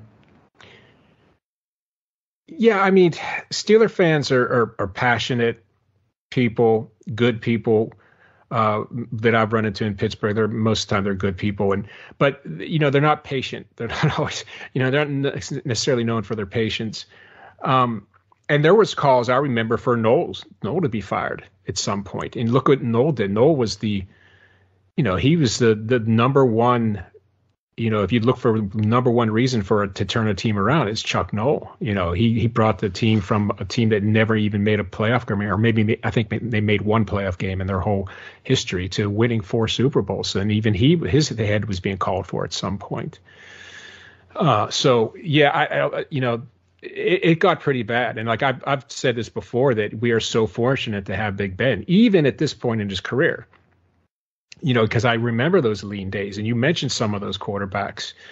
You know, and there were some even worse than that. Cliff Stoudt was, you know, was a starter for the Steelers and not a very good quarterback. Um, you know, they they just went through some really lean times, and I think honestly, what, what I think it's going to come down to in the end is um, as far as people calling for the heads of Colbert or the head of Tomlin, it, it's going to come down to how fast they can get a a good franchise quarterback in here. Because when you have a good franchise quarterback, you always have a chance in a game. You know, so I think that's going to be real important for the for the Steelers staff in the in the next coming you know coming seasons, coming few seasons, to get that done. Um, but it's you know it's not fun, guys. It's not fun. Uh, you know, following a team and rooting for a team that has a quarterback that's just not very good, or or these days even average. You know, to to get anywhere with a quarterback that's average, you better have like a an incredible defense, and then you could probably do it. But other than that, I mean, so yeah, I yeah, it's um I've seen it bad. It, yeah, I've seen for sure. I mean, fans get get restless and get frustrated and you know they want to win they you know so we're not we're not at that point nearly where where they were at, at certain times in the past you know um but uh you know we'll see we'll see how fast they can they can turn this situation around um did the fan, fan base ever get onto ownership or no no, not not really. I mean, there's some people, of course, you can't say no one. There's some people that you know, oh, the Rooney's this, the Rooney's that.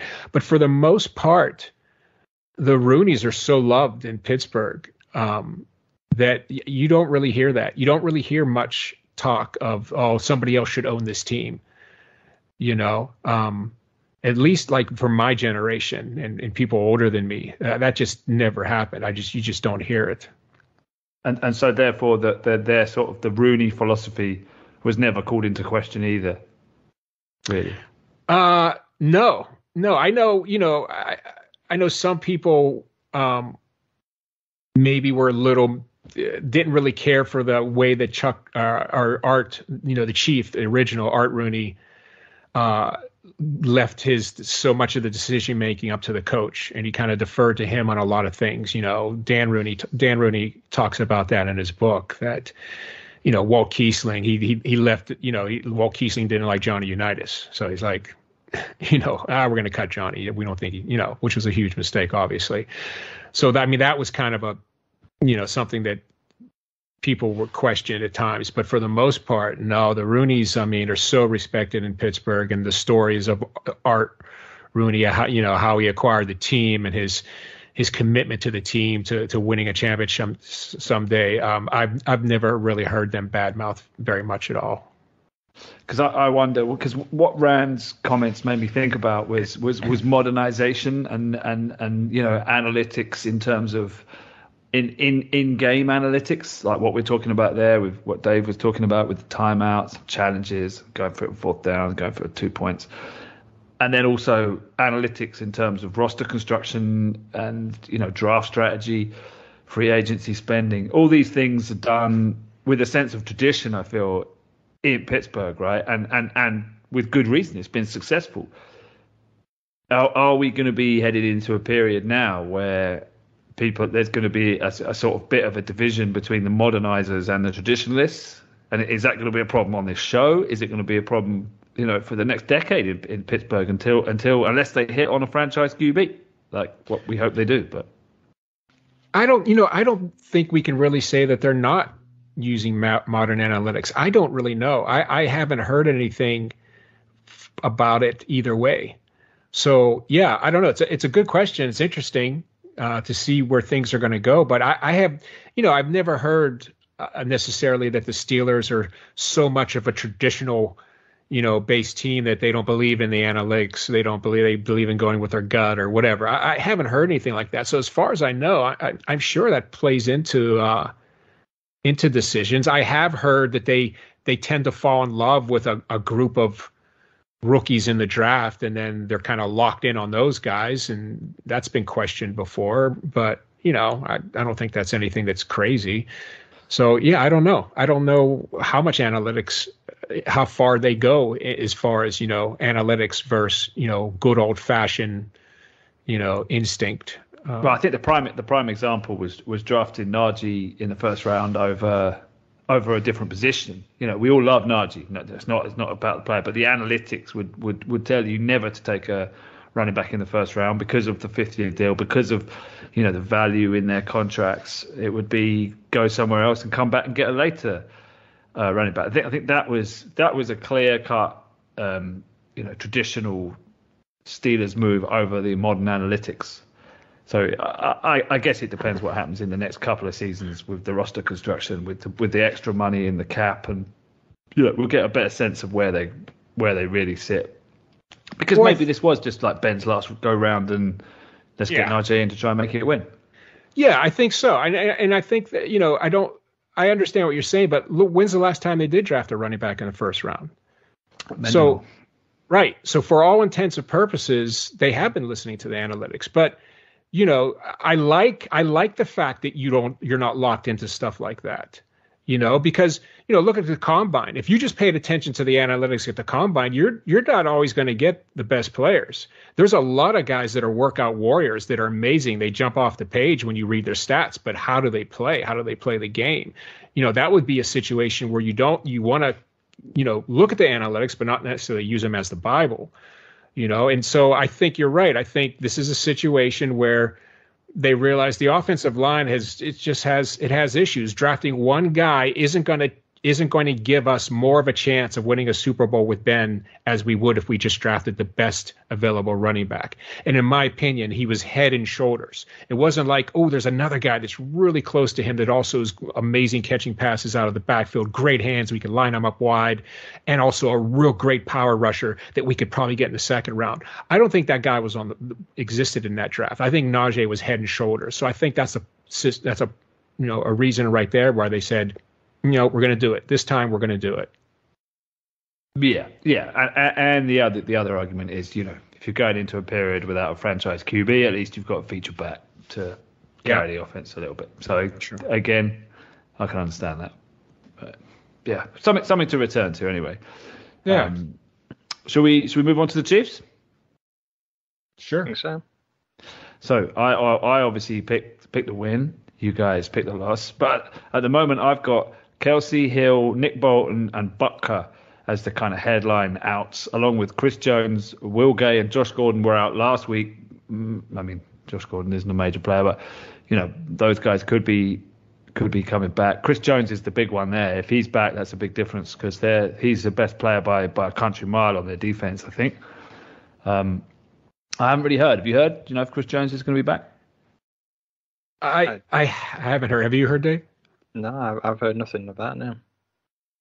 I heard that Kelce will most likely play. From what I oh really? Cause, yeah, because they um the the COVID guidelines have been relaxed quite a bit. Um, and uh, for the guys who are vaccinated, if you're unvaccinated, still mandatory ten days, you know, with no no symptoms and, and you know uh, negative test but for the guys vaccinated, I, I, guess because this strain is a lot weaker, you know, they've they've relaxed the guidelines quite a bit, and he has a chance to play. Yeah, I guess it reveals who's vaccinated and who's not. Yeah, yep. it's tricky. But I mean, so it seems like Hill isn't going to play. I don't know. I haven't heard that either. Okay. Okay. Well, at this point, okay, don't come here for for uh, uh, any kind of insight because we don't know. But um, going with with what what the Steelers have done, um, sorry, the Chiefs have done on the field so far this year. I mean, they're, still, they're definitely a top ten F offense in in most metrics uh, outside of the run game. So they, you know, they are a dangerous passing attack. They're they're they're 17th league wide in red zone touchdown completion percentage. So that means, you know, if, if we get into the red zone, the Steelers have got a good chance of stopping them. That's something. They're 21st in sack in uh, in sorry in interceptions allowed. So that this is a, you know Mahomes throwing it up on prayer balls, they can be picked up, and they're they're fourth worst league wide in turnovers on offense. So this this defense should be licking its lip at trying to get some turnovers. So there's some positives here. Well, yes, but here's the thing. This is where statistics can be deceiving. They they did not play well early in the season. I mean, we all know that. This is when we really needed to play them, to be honest with you. But if you look at their stats for the last four games, I'll bet you they're vastly different because oh, yeah. they've been they've been a much much better team, and that's what we're dealing with now. We're dealing with that team right now. So yeah, stat, mm-hmm. I'm a stat guy. Stats mean something, but you know you got to take that into account. Sure, but with the injuries, I mean, or the COVID, whatever. I mean, I think that the the, the, the it's going to take a hit. The team, the team, the offense is going to take a hit, um, and I, I think there's a chance that it could fall back to, you know, it's reached reached some highs, especially against the Chargers. Great game, great performance, but I think they're going to fall back to earth. The Steelers have always been quite successful against the Chiefs. I know this is a different Chiefs teams, but even previous Chiefs teams that have been, you know, world beaters, the Steelers have always kind of kind of kept in running with them. I, you know, I mean, maybe that's maybe that's just nonsense, but it, it feels to me like the, the the Steelers aren't scared of the Chiefs.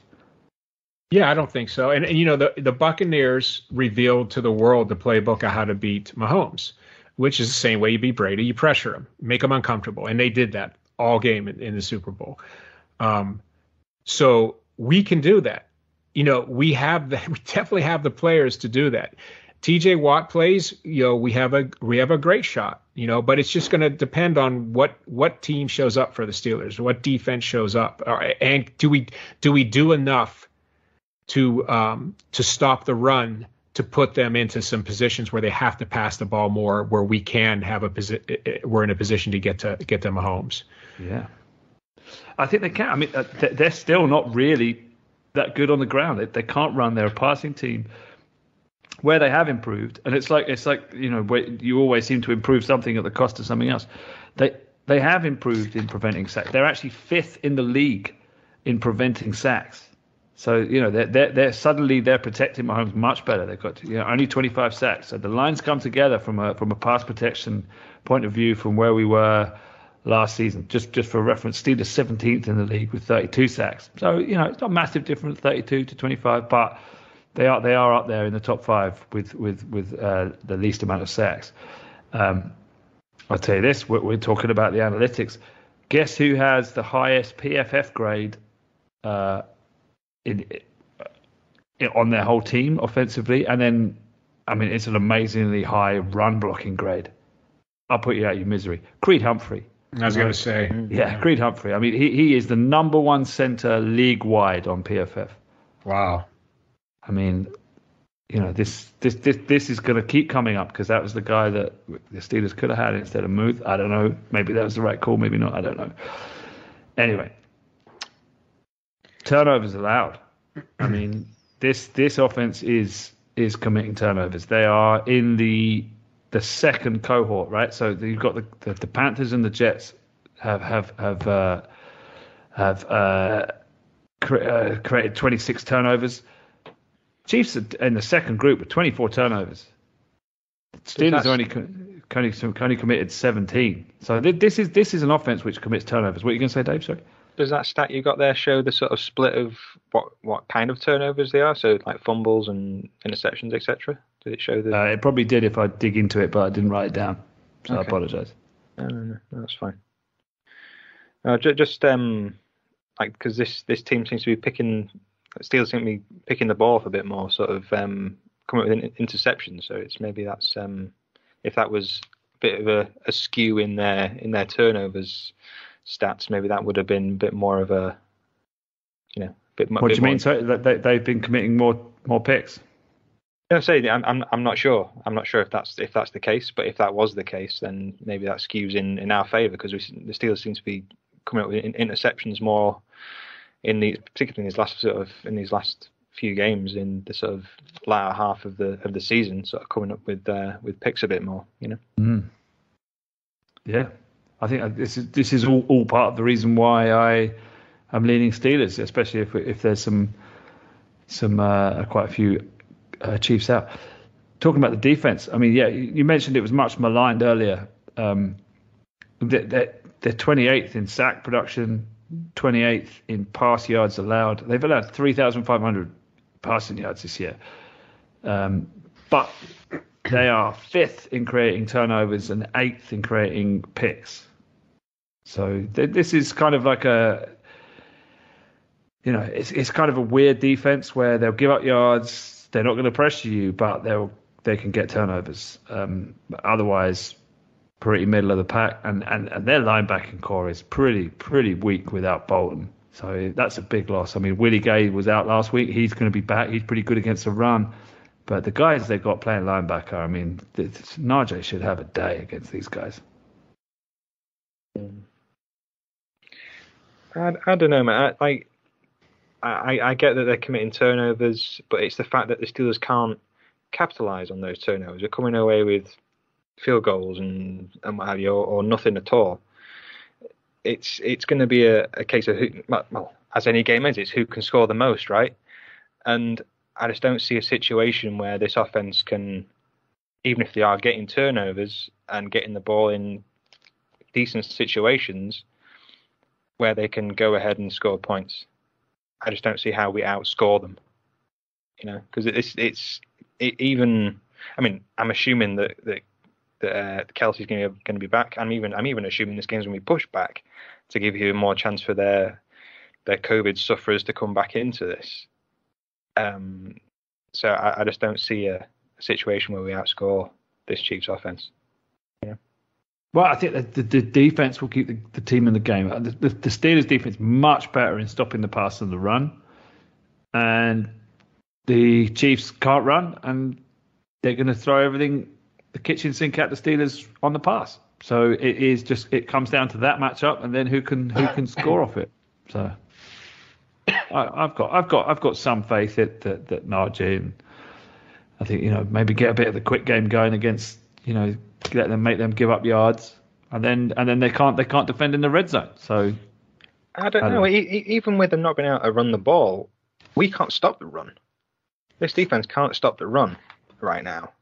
So I think every team coming against the Steelers right now is licking their chops, going, "We're going to run the ball." These guys. I don't even know why the Titans stopped running the ball as the, the um what was the other game? The the Vikings did it as well. They just sort of went, oh yeah, we've done enough running the ball now. We're going to try and uh, hero it and and throw some throw some passes now. We're sick of running the ball, despite the fact it's been successful. Teams seem to give up on the run against us, despite the fact they're being successful with it. So I, I don't know. I think even teams that are struggling to run, to run the ball are going to be thinking, oh, we're going to have some success here with with with, with the rushing attack. You know. You're saying this is going to be a get right game for the Chiefs' rushing attack. Let's hope not. I'm not. I'm not saying it's a get right. I'm saying it's you're going to have uh, an improved an improved rushing attack against this Steelers defense right. that cannot that cannot stop the run. Well, I, I, I, kind of like Rich said, the blueprints out there how to stop this this offense. I think it, it, it, that that blueprint fits with some of the things the Steelers defense can do. So I think it, it, does come down onto the Steelers offense, and and you know it's it's how you feel about that. And I mean, it's yeah, it's pretty logical to say it's going to be a failure, but perhaps perhaps the Chiefs' deficiencies on defense will lend lend itself to a surprising result here. That that's all I'm saying. Yeah. Right, Rich, what do you say? What do you what, what, do you, what do you think about this? Well, it's it's you know it's going to be tough. Uh, if we can consistently pressure Mahomes, we got a shot. You know, if not, you, you look at say Tyreek Hill does play because he's got he's got time and you know, the, like I said, the COVID restrictions are relaxed in the NFL. Oh, you got to bracket him, right? That's a no brainer. Can you see Cam Sutton lining up on on Tyreek Hill? right? So you got to bracket him. Now that leaves that leaves Kelce to to run crazy against our linebackers or whatever they do with him. Maybe I don't know. I don't know what they have to do with him, but it's just there's so many athletes, and then you know they have other speedsters, you know, on their on their team. I mean, there it's not just Hill. They they have they probably three receivers that are faster than anybody we have on the defense. I mean, they're a matchup nightmare. So it's all about pressure and Mahomes. So if we can't consistently do that, it's going to be very very difficult to win this game. You know, yeah, it's true. If if you if you had to put someone one on one with with with a with Hill, who would who would you go with? I mean, Haden. Is he your best bet? I mean, he's he Uh, gets burned. Witherspoon. Witherspoon's But faster With- than Haden at this point. but he's he's kind of like your big jam corner. He's not going to jam Hill. He's Hill's going to get underneath him and escape. Yeah, but he's he runs a four four five, you know, which is faster than what Haden can run now. I mean, I I don't know what else you do. You put your fastest corner on him, and I think he's our P- fastest. Pierre, one of Pierre or Layne. I mean, maybe Layne's the guy. Maybe Lane has a game here. Yeah, I you, I think you got to bracket him with you know somebody Yeah. over the top. Uh, If I you just do need to put him one on one, who are you going with? Oh, God, I don't know. I, at, at this point, Witherspoon. Witherspoon's been our best corner. Witherspoon contests a lot of passes these days. I, I, I would have to go with him. He might jam him at the line too. He, he's the only one that's got those kind of press man skills. Can Mel Blount come out of retirement? get him out there. Uh, failing that, I think I think Layne's the only guy on the roster that's got the man skills to keep to stay in phase with him. But obviously, there's so many other areas of his game that's deficient. Um, we're going to see Melvin Ingram. Uh, That's going to be weird. He, he's actually, if you take out Chris Jones, he's the highest graded defensive lineman on the Chiefs. Hmm. I mean, half of that grade was earned with the Steelers, but I mean that's kind of weird. I mean, their their, their linebacking corps and their D line is, is not good. So I just think I think Najee could have a day, honestly. I heard an interesting stat the other day that he Ingram was actually logging more playing time with the Steelers than he is with the Chiefs. Hmm. That's kind of interesting. Yeah. After all these fussy made, fussy made about not getting enough playtime, yeah. Yeah, well, you know, uh, not getting enough play time might have been actually this team isn't going to win squat. I want to. I, am getting older. I want out of here. Maybe. Yeah. Who who can blame him, huh? I mean, Yeah, yeah. Yeah, I I, mean- don't, I don't I don't hate him. never won a Super Bowl. You know. With- The the Steelers didn't draft him. It's not like they owe him any. He owes them anything. He's a mercenary, right? And you know, he's taking his business elsewhere. That's fine. Yeah.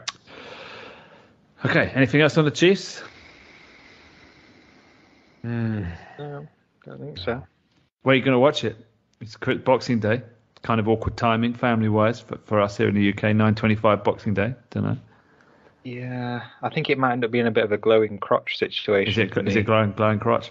Maybe it might end up being that way. Just like it, we've got um, as, as everyone does, sort of uh, plans around Christmas, but it seems like Boris is going to maybe shut us all down. So I, I don't know. It depends on how things go. If we're, if we're shutting just the three of us, I'm sure I'll be able to I'll be able to get some uh, some TV time. But um, but if uh, if if plans go ahead, then it's going to be a glowing crotch situation sat around the table. Oh man, that sucks. Would you not delay? Would you not uh, black out and Um, start later? I've I've done that before around Christmas. I tend to like at the moment with um with my baby daughter. I've I've not been watching the late games. I've just sort of been blacking out and watching the next day, Mm. and um, I've, it's been all right. I, actually, it's been if anything a bit better because I've had sort of you know you can look at it from with a different point of view and.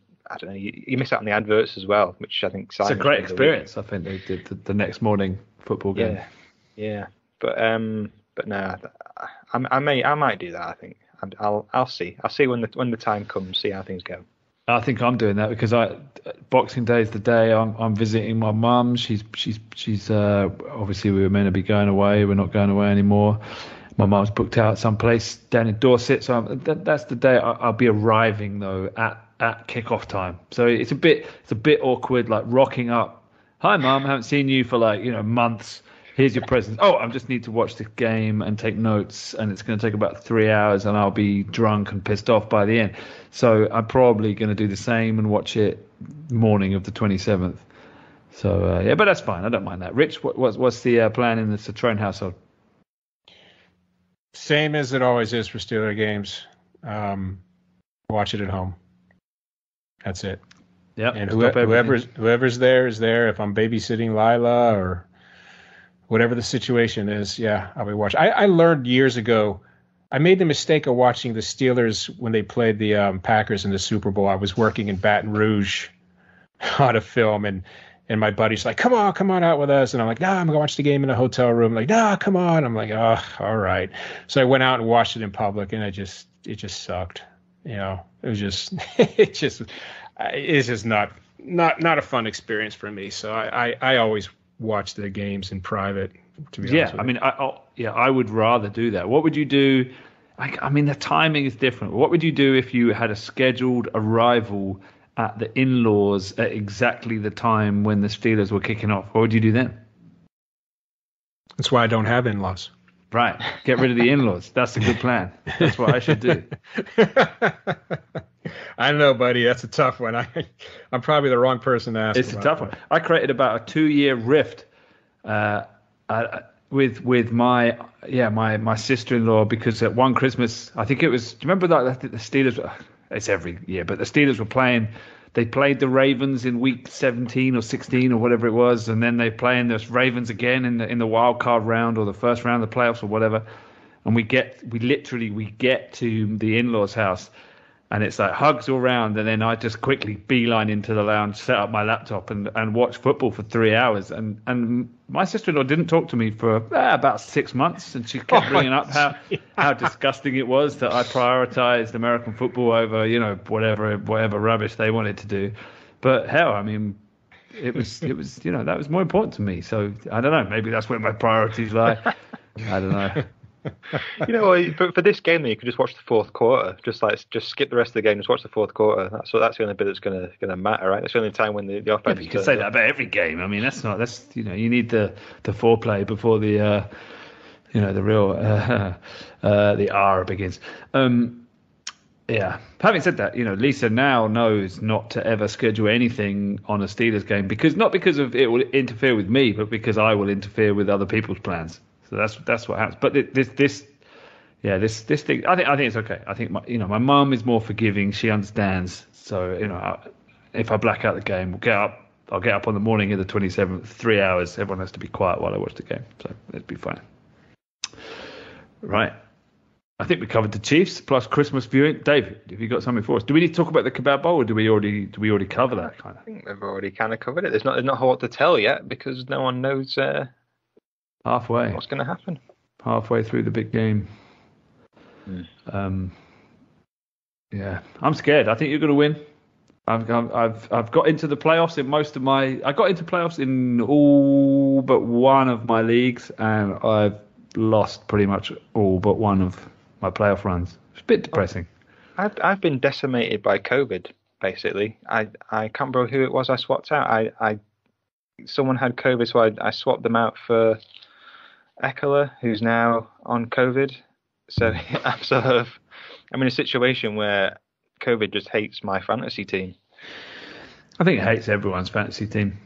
But Rich, I mean, you know, our, our, one of one of my, my most valued league, the League of Record, you you you've snuck into the final. You've actually whooped into the final. You whooped Aaron. Well done, man. I mean, you took over a team. Hmm, thanks. I'm going to. Uh, I am actually going to text the previous owner and say, "Hey, look, your team's, you know, potentially won the won the final." I'm going to see what happens first, but uh, what well done, what man. place did? Thank you. What place did my team come in last year? How bad were they? Uh, that would take a second. You'd have to fill up some airtime while I look into it, but I can No, tell you. it's just a rough idea. Uh, mid-table, I thought it, it, it's been a, it's been a cellar dweller for a while. This is this is a league that's been going on uh, since 2015, I think it is. And you've Okay. come in this year. You've taken over a franchise. Hang on, I can't I can't tell you. It- It's just I'm getting there. League history. Wait, I need to select your team. Here we are, live on air. Uh, okay, average finish position is seventh. It's gone seven. Uh, sorry, ten, six, five, four, seven, seven. So the last two years you finished seventh, and and this and this year you are looking like you're going to win the final if if projections are to be counted for. Two week final. Um, so well done, man. You've really put it over the edge. Oh, thank you. Yeah, losing Fournette's going to hurt a lot. Yeah. He's he's come on strong for me, and probably Waller probably won't play again. So yeah, it's not it's not going to be a slam dunk, that's for sure. Yeah, it's a, it's a big game for me too because I've in in the uh, one, two, three, four, five, six years. This is the seventh year of the league. I've never finished outside of the top three. I've won it four times. Oh, I've nice. come yeah, I've come third the other two times. So I, I really don't want to finish outside the top three because it's, it's you know this is my this is my this is my dynasty. This is my franchise. Anyway, we probably talked too much. Dave, do you have a kebab corner for us? I do, I do. Four large donuts, mate. Everything on them? Do you want onions on your set? I do. Plenty onions. You know what? Before I looked into it, I've just realised we didn't even mention special teams for the Titans game. Oh, jeez, we didn't, did we? We- this I is mean, what happens when you put me. Don't put me into charge, Dave. You need to. You need to. You, you've clearly demonstrated you are a better host than me. Oh, I'm, I'm the colour guy. You, you, you've you brought up timeouts, clock management. You brought up special teams. Clearly, it's- next next time Si's out, you're you're you're hosting the show. Sorry, you've just won the job. Notice how I mentioned all these things like 20 minutes after we should have been mentioning them. So clearly your point is wrong. But it, it seems a bit wrong to maybe be uh, laying into Pressley Harvin for his uh, atrocious punting without Si here. But uh, but man, it, it- he's it, it's either it's it's it's gold or it's it's going nowhere. There's no in between with this guy. Does the guy have like some unlucky bounces or what? I don't know, man. It, it, it, it, is it the snap? Is is he is he sort of is it not going into his hands nicely? Because it, I don't know. There's something wrong with his action that he's he's just shanking punts and. I mean, I feel stuff. symph- sympathy for the guy, right? I like, you know, he's clearly no one. wa- No one wants what he's gone through this week with the terminally ill father. Yeah. But does that does that affect your punting? I don't know. Like either, Yeah. either you can play or or you can't. I mean, I, I think it would affect it. Yeah. Really? Yeah. Yeah, I think so. Yeah, I mean it's so especially kickers, punters, kickers. Your, your mental strength is everything in that. And if anything's a little bit whacked off, you know, it, it- nah, it's it could it could definitely throw his kicking out of whack. Mm.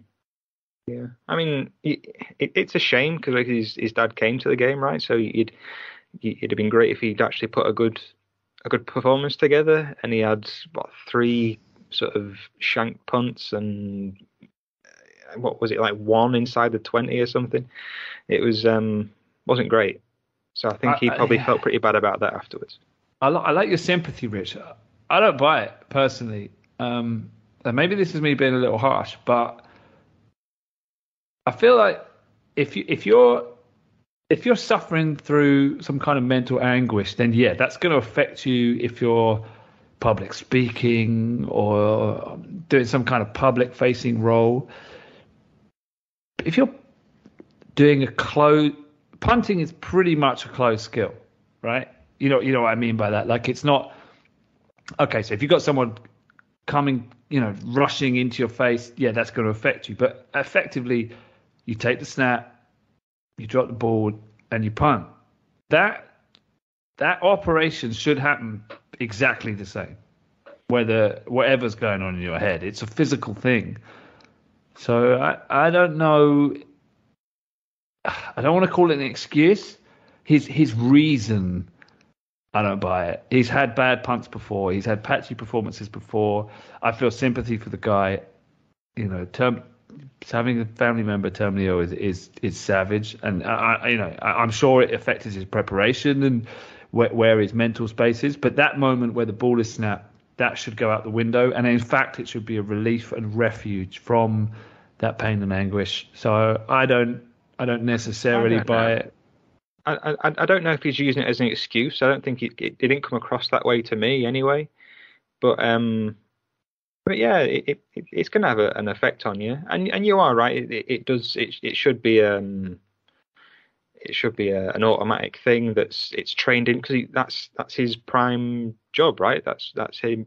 That's his sort of. Mhm. It, it should be like a a muscle memory thing, but there there is that you know that grey matter between the ears that that does throw you off and I- yeah i, I don't I don't think he put it out there as an as an excuse like oh i was really bad because because of this but at, at the same time tomlin's coming out saying that they you know they're standing by him and maybe there's a bit of a thing like they had with um with Boz, you know, with with him and his um his off season, they they stuck by him, and look how that how that worked out. You know, he's he's uh, one of the best kickers in the league now, if not arguably the best, if if you uh, have those black and gold goggles on. But um, I, I think they see in him what he can do because there's some there's some punts and and he's he's he can he can boom it right. He can really flip the field when he when he hits it right. So I think they, they see that in him. It's just coaching that into him to be more automatic and be more consistent. I think I think it, it can be coached and those errors can be, you know, eradicated and over time they can focus him into this punter that Si wants him to be, you know. Hmm. But I just have Si's open letter to Jordan Berry or the Steelers organization in my head about consistency, and I think about you know that what I was talking about earlier about the analytics of do you draft a punter? You know they did. Is is he producing to a level where that draft pick has been warranted? Do they now do, does drafting a punter or a kicker or any specialist like that mean that you you cling on longer than you should? You know, you should just be able to move on from a guy if they're not producing. I don't know. Questions. Questions with this whole thing. Yeah, it, it, it looks like you know that uh, at this point that Berry should have been the punter that they picked. I mean, he outplayed him in the preseason, but I understand why they kept Harvin. You know, he's he's a rookie that they're really high on, and and they've had problems with Berry in the past, so they wanted to give the guy a shot. He thought he did good enough to give him the shot, and and I and I'm not excusing him for his entire season. I just think you know it, it just just a, a a question as far as can this affect your your your ability? I think it can. I think it I think it can in anything, um, but. Does it excuse his poor punting for the entire season? No, I don't think so. Um, but yeah, he's it's a, it's a problem, and he he needs to get it straightened out um, ASAP because it just seems to happen too often when we're backed in our own end somewhere, and he just gets off a 25 yard punt and it just kills our situation. I mean, just just give me an average punter. Just give me a guy that just puts it within the 20. I don't even need it in the 10. Just just don't just don't kick out of bounds at the 40. That's that's all I need. Right. Yeah, that's a good point. Okay. Uh, Getting away from special teams. the thing I was going to um, before but before I remembered that we hadn't even covered special teams.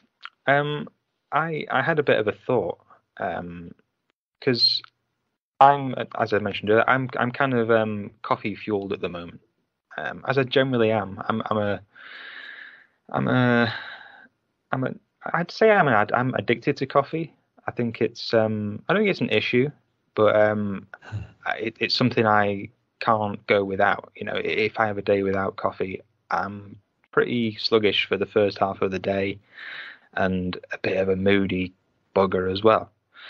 And um, I coffee is a useful social lubricant. Yeah, as as a lot of um, things that you drink are. But um, I was I, I, thought I'd stop off at a, a, popular coffee chain in the UK that rhymes with sh- Schmoster. And ah, the, um, the, the, crimson, the burgundy. What color is that? Burgundy, crimson. Crimson. It's a red color, right? It's not deep red. Burgundy's more purple. Is it? I thought the burgundy was more of a brownie red. Uh, well, I'm not, I mean, um, color experts that get in touch, tweet us, but um, swatch swatch fiends. Yeah, um, but I'm pretty sure it's a purpley color. But mm-hmm. um, I was in a, a, queue behind a bunch of people who were ordering their mocha frappa whatever nonsenses things with a load of cream stuck on top of it that's got a, about 2% coffee in it or it's like an iced drink it takes like 20 minutes to make i just wanted an americano and get out of there i'm i'm a well sometimes if well, you want that just go to the machine in the in the in the garage service station well, yeah, but I was I was at a proper Schmoster store, the the the, the Crimson Schmoster. Uh, then you've got to you got to accept that there's going to be a line. But it's like that. Should there be? I, I, want a queue that's separate from the main queue where everyone can order their fancy nonsense with double shot sweet flavored nonsense in it, and just like the hardline businessman's coffee. Black coffee. Just give me the coffee. I want. I, I, just want this caffeine so I can go on at this job and get on with it and not fall asleep. You want a ten, ten items or less and no chit chat. Yeah, yeah. I want. I want to. It, not necessarily self-service. I want a, a, nice coffee from the from the from the what's what they call baristas. Barista. I want the barista to make it. But what's I, your issue with the with the machine coffee? I think the machine coffee is not bad. I have I have no issue with, with a with a machine coffee. It's just that in this situation. So then what you what you're saying is you just if they put a machine in there, it would have been fine. You just gone to the machine, skip the maybe, queue. maybe, but um, I I I want a separate queue for non-nonsense coffee drinkers. Just like I want I want the caffeine hardlined into my veins so I can get on with my day. What if you're in the hardline businessman's coffee queue and then you suddenly decide you want a raspberry and almond flapjack? Is that allowed? Uh, maybe I don't know. Maybe if You you, have just join the other queue. shout it, just throw one over here, and I'll I'll pay for it on the way out, sort of thing. You have to be really quick in how you order it. Yeah, maybe you just you just got to know. You got to know what you want. It's like maybe it's a man thing because when I go shopping, I a lot of men do. It's, it's like I know what I want. I go in and I get out, and I you know, and that's it. I, I don't spend a whole lot of time wandering around looking at stuff. I just get what I want and I get out. And I think that's my approach to coffee. But um, I, I kind of wanted to know if you guys have any laws or rules or things that you want implemented in general life.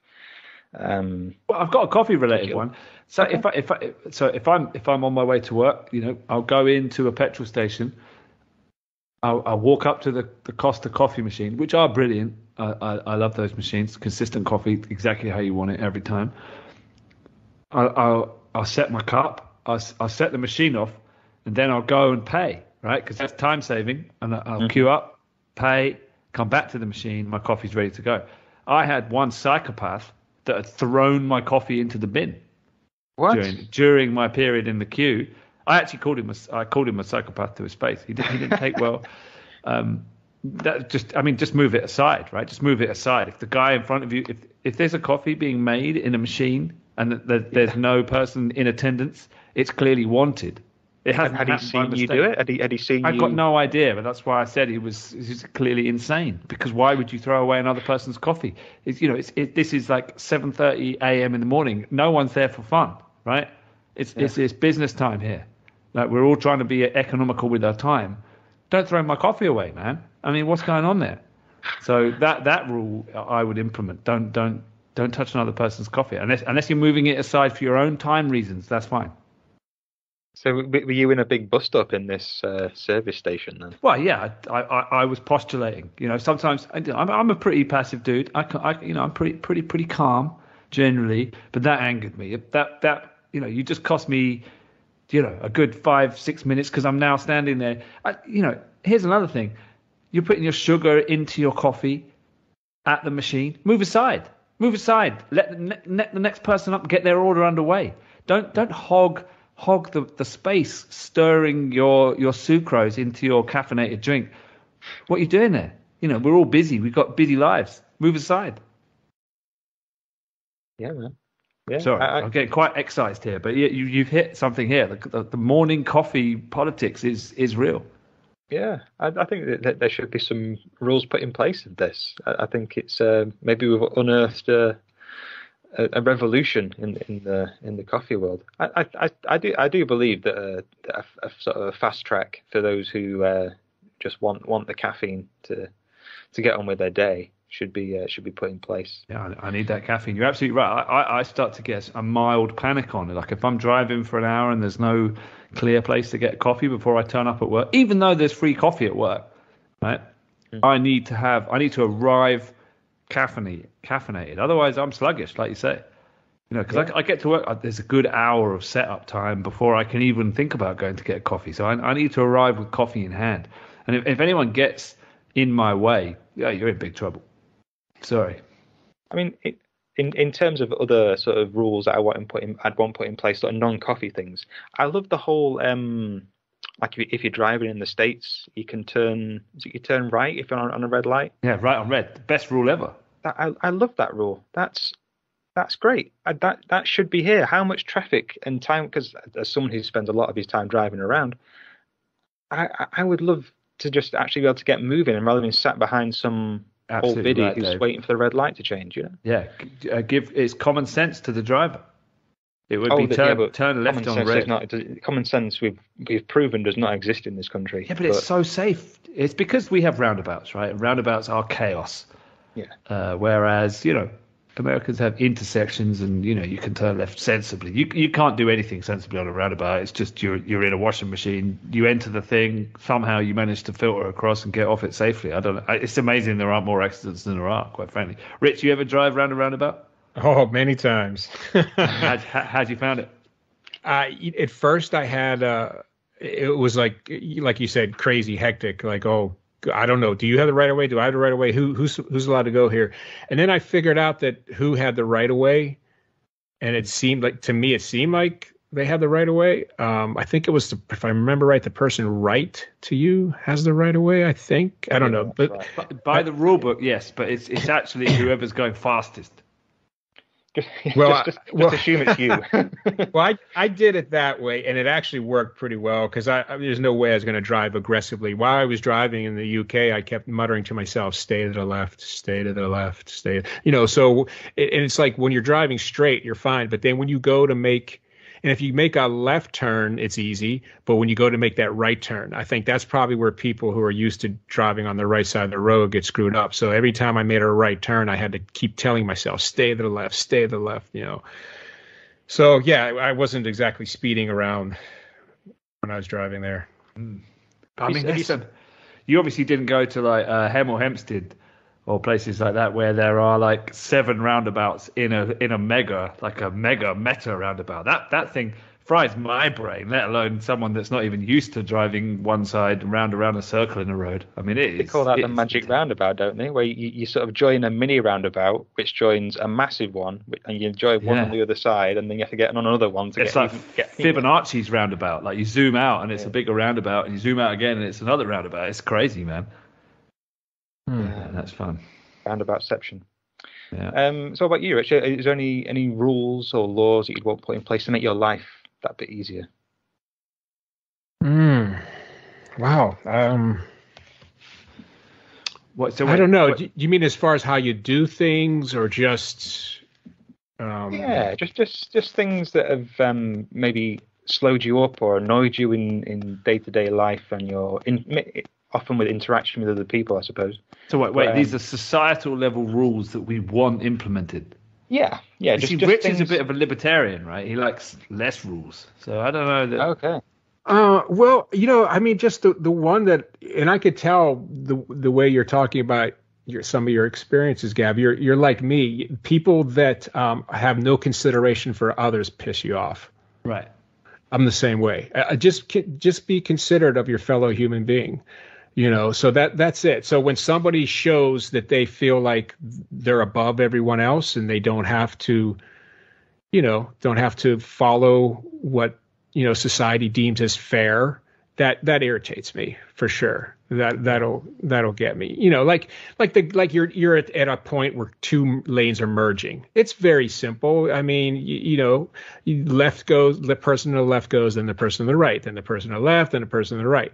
It's fair. It's it's it, it everything's done. You know, just smoothly. And then you have that one person that just wants to try to hug the bumper of the person in front of them and not and not play by the rules. You know, and you know, stuff like that is like I don't understand it.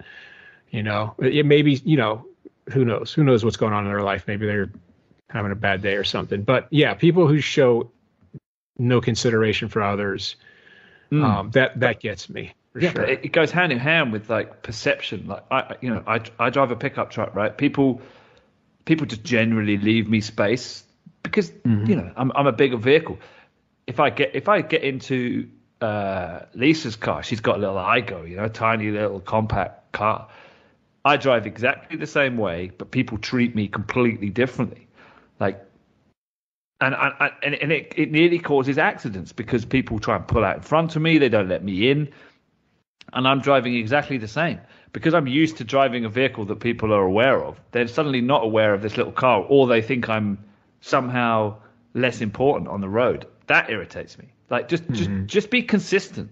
Like be Right. consistent. Like if you if you're in a group of people don't don't just gravitate towards the good looking person or the person that's cool. Talk talk to everyone the same. Talk to the nerd exactly the way you, you talk to the jock. Treat the person in the truck exactly the same way as the person in in the little car, and you'll be a better person for it, and the whole world will be a better place. Absolutely. Yeah, I agree. I, I you feel. know, when I when I take a woman out to to dinner, and I've never gone out before. We never gone out before as a first date. I always watch how they treat the staff, the waiters, and the and the people in the in the restaurant. Because you'd be surprised. You know, most of the time people are nice. You know, but you're surprised how some of them are just talk down. To, and then to me, that's you're you're that's it. I'm you're done, one and done. You know. Um, so yeah, being considerate is big with me. You know what? I I, I just thought of one, Dave. I I always when somebody lets me in um, like you're driving and you're trying to move over and you can see the person slow down and sometimes they wave you over and like and they, I always wave a thank you to them like always you know and, and then sometimes when you're trying to get in you'd be surprised you're trying to get into traffic and you, you could tell the person behind you they don't quite want to let you in but they're not being a total jerk about it. That they're not really thrilled about it and then you move over. And then at that point I always wave to them like thank you. And then you'd be surprised they always back off at that point. You know you just get that little bit of courtesy and they're like oh okay this guy's pretty nice. And they, then they back off. They're not on your tail and they're, they're they give you like you know some respect and you know and it because it's funny in, in southern california i don't know how it is in the whole state but in southern california los angeles area you know los orange county where i live very rarely do you get the wave it sounds like a seinfeld episode right but Oh, very really? You don't get Ve- the way. Oh, oh, very rarely. Very rarely. Like maybe Wow. one in 25, 20. But that, that, that smacks of entitlement, man. Yes, yes, it does. yeah, you let people in, and it's like, man, they just go. Yeah, Let's go. Like, oh yeah, you, yeah, you, you were Yeah. there. yeah like you, you know, I, I deserve this, you know, so yes, I'm going to go. Yeah, see, it's my- crazy. I remember way back when my, my driving instructor said, always thank people because then they'll be more likely to do it again the next time. right. So that's what I've stuck with.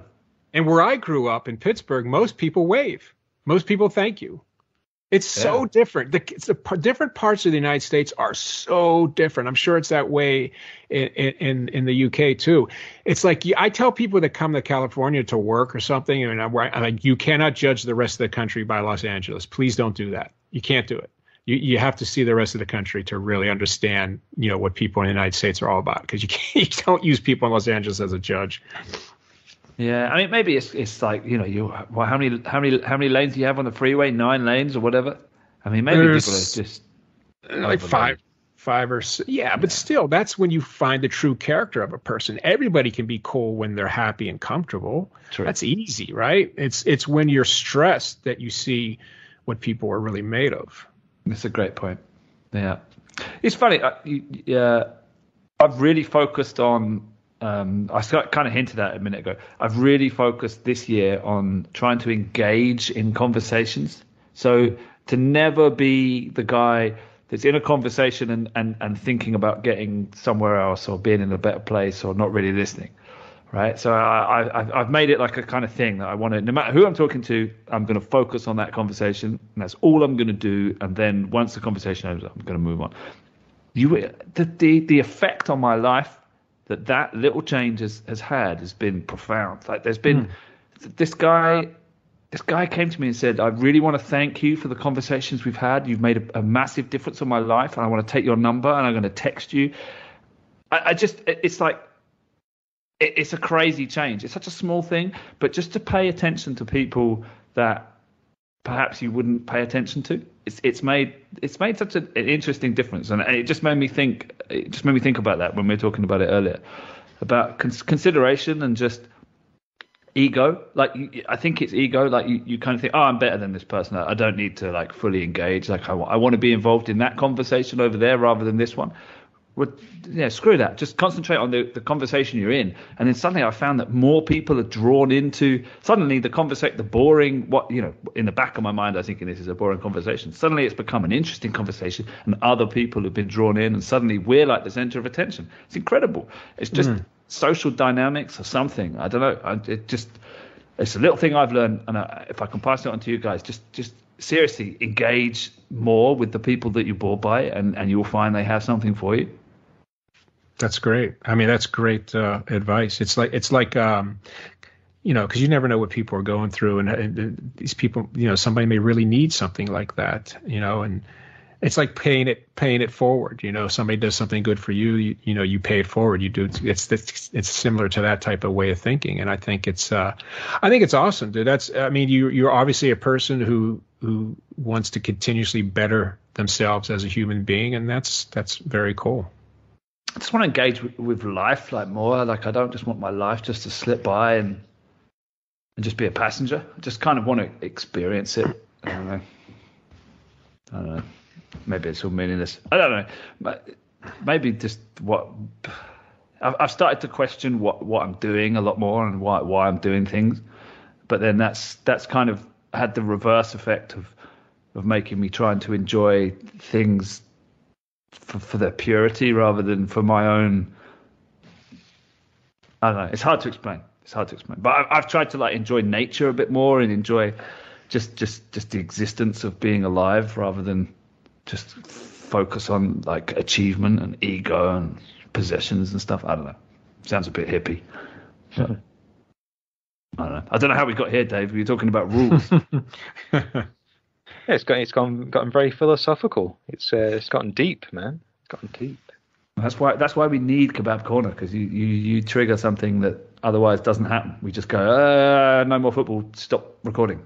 I, I had no intention of triggering it, triggering it. a deep I know, but that's what you're good at. It's what you, you bring out of with your, you know, your rage in, in the coffee queue has, has, has instigated something more interesting. So thanks for that.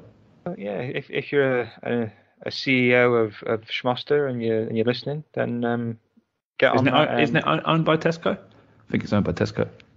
Is it? I think so. Or with Wetherspoons. It's, what, it's, uh, it's owned by a bigger brand for sure. Okay. Well, it- well, You if have, you have own- Costa's out in California, Rich? Probably not. right? Costco, Costa, Oh, Costa- yeah. Co- no, not Costco. Costa. Costa. Uh, I don't think so. No, I doubt it. short for cost Costa Fortune. Oh, I've not heard that before. That's quite good. What's the what's the what's the is it Starbucks? What's who are the competitors for Starbucks? ooh, Dunkin' there's not- Donuts, right? There's, there's not many. Um, yeah, maybe. I mean, there's no one that really approaches them. There's some smaller ones like Dunkin' Donuts and some small coffee shops, but not uh, Starbucks is by far head and shoulders the most popular.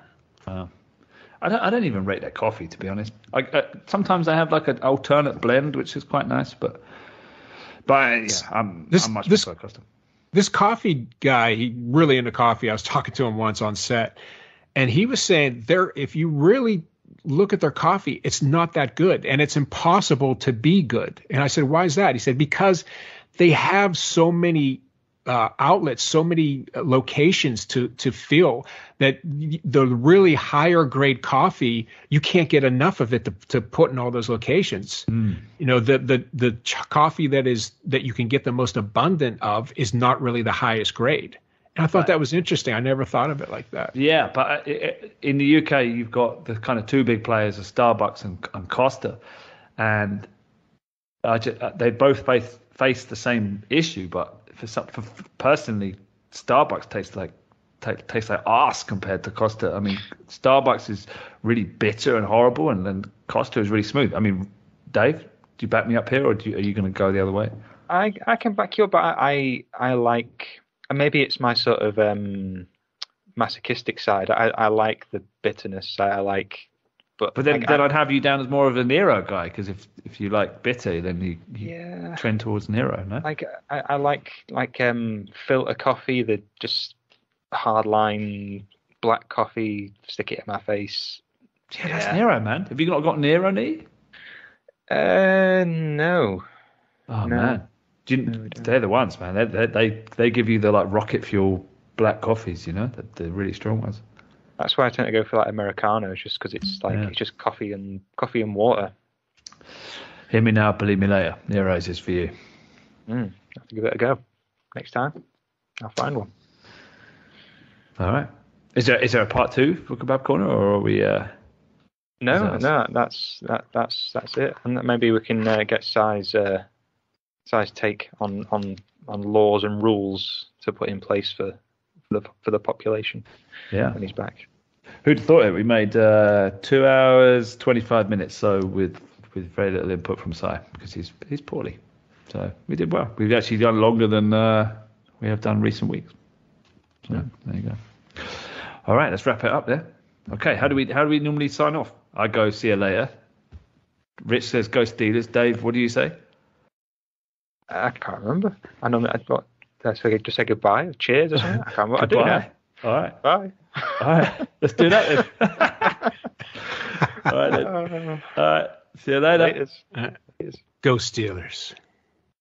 Team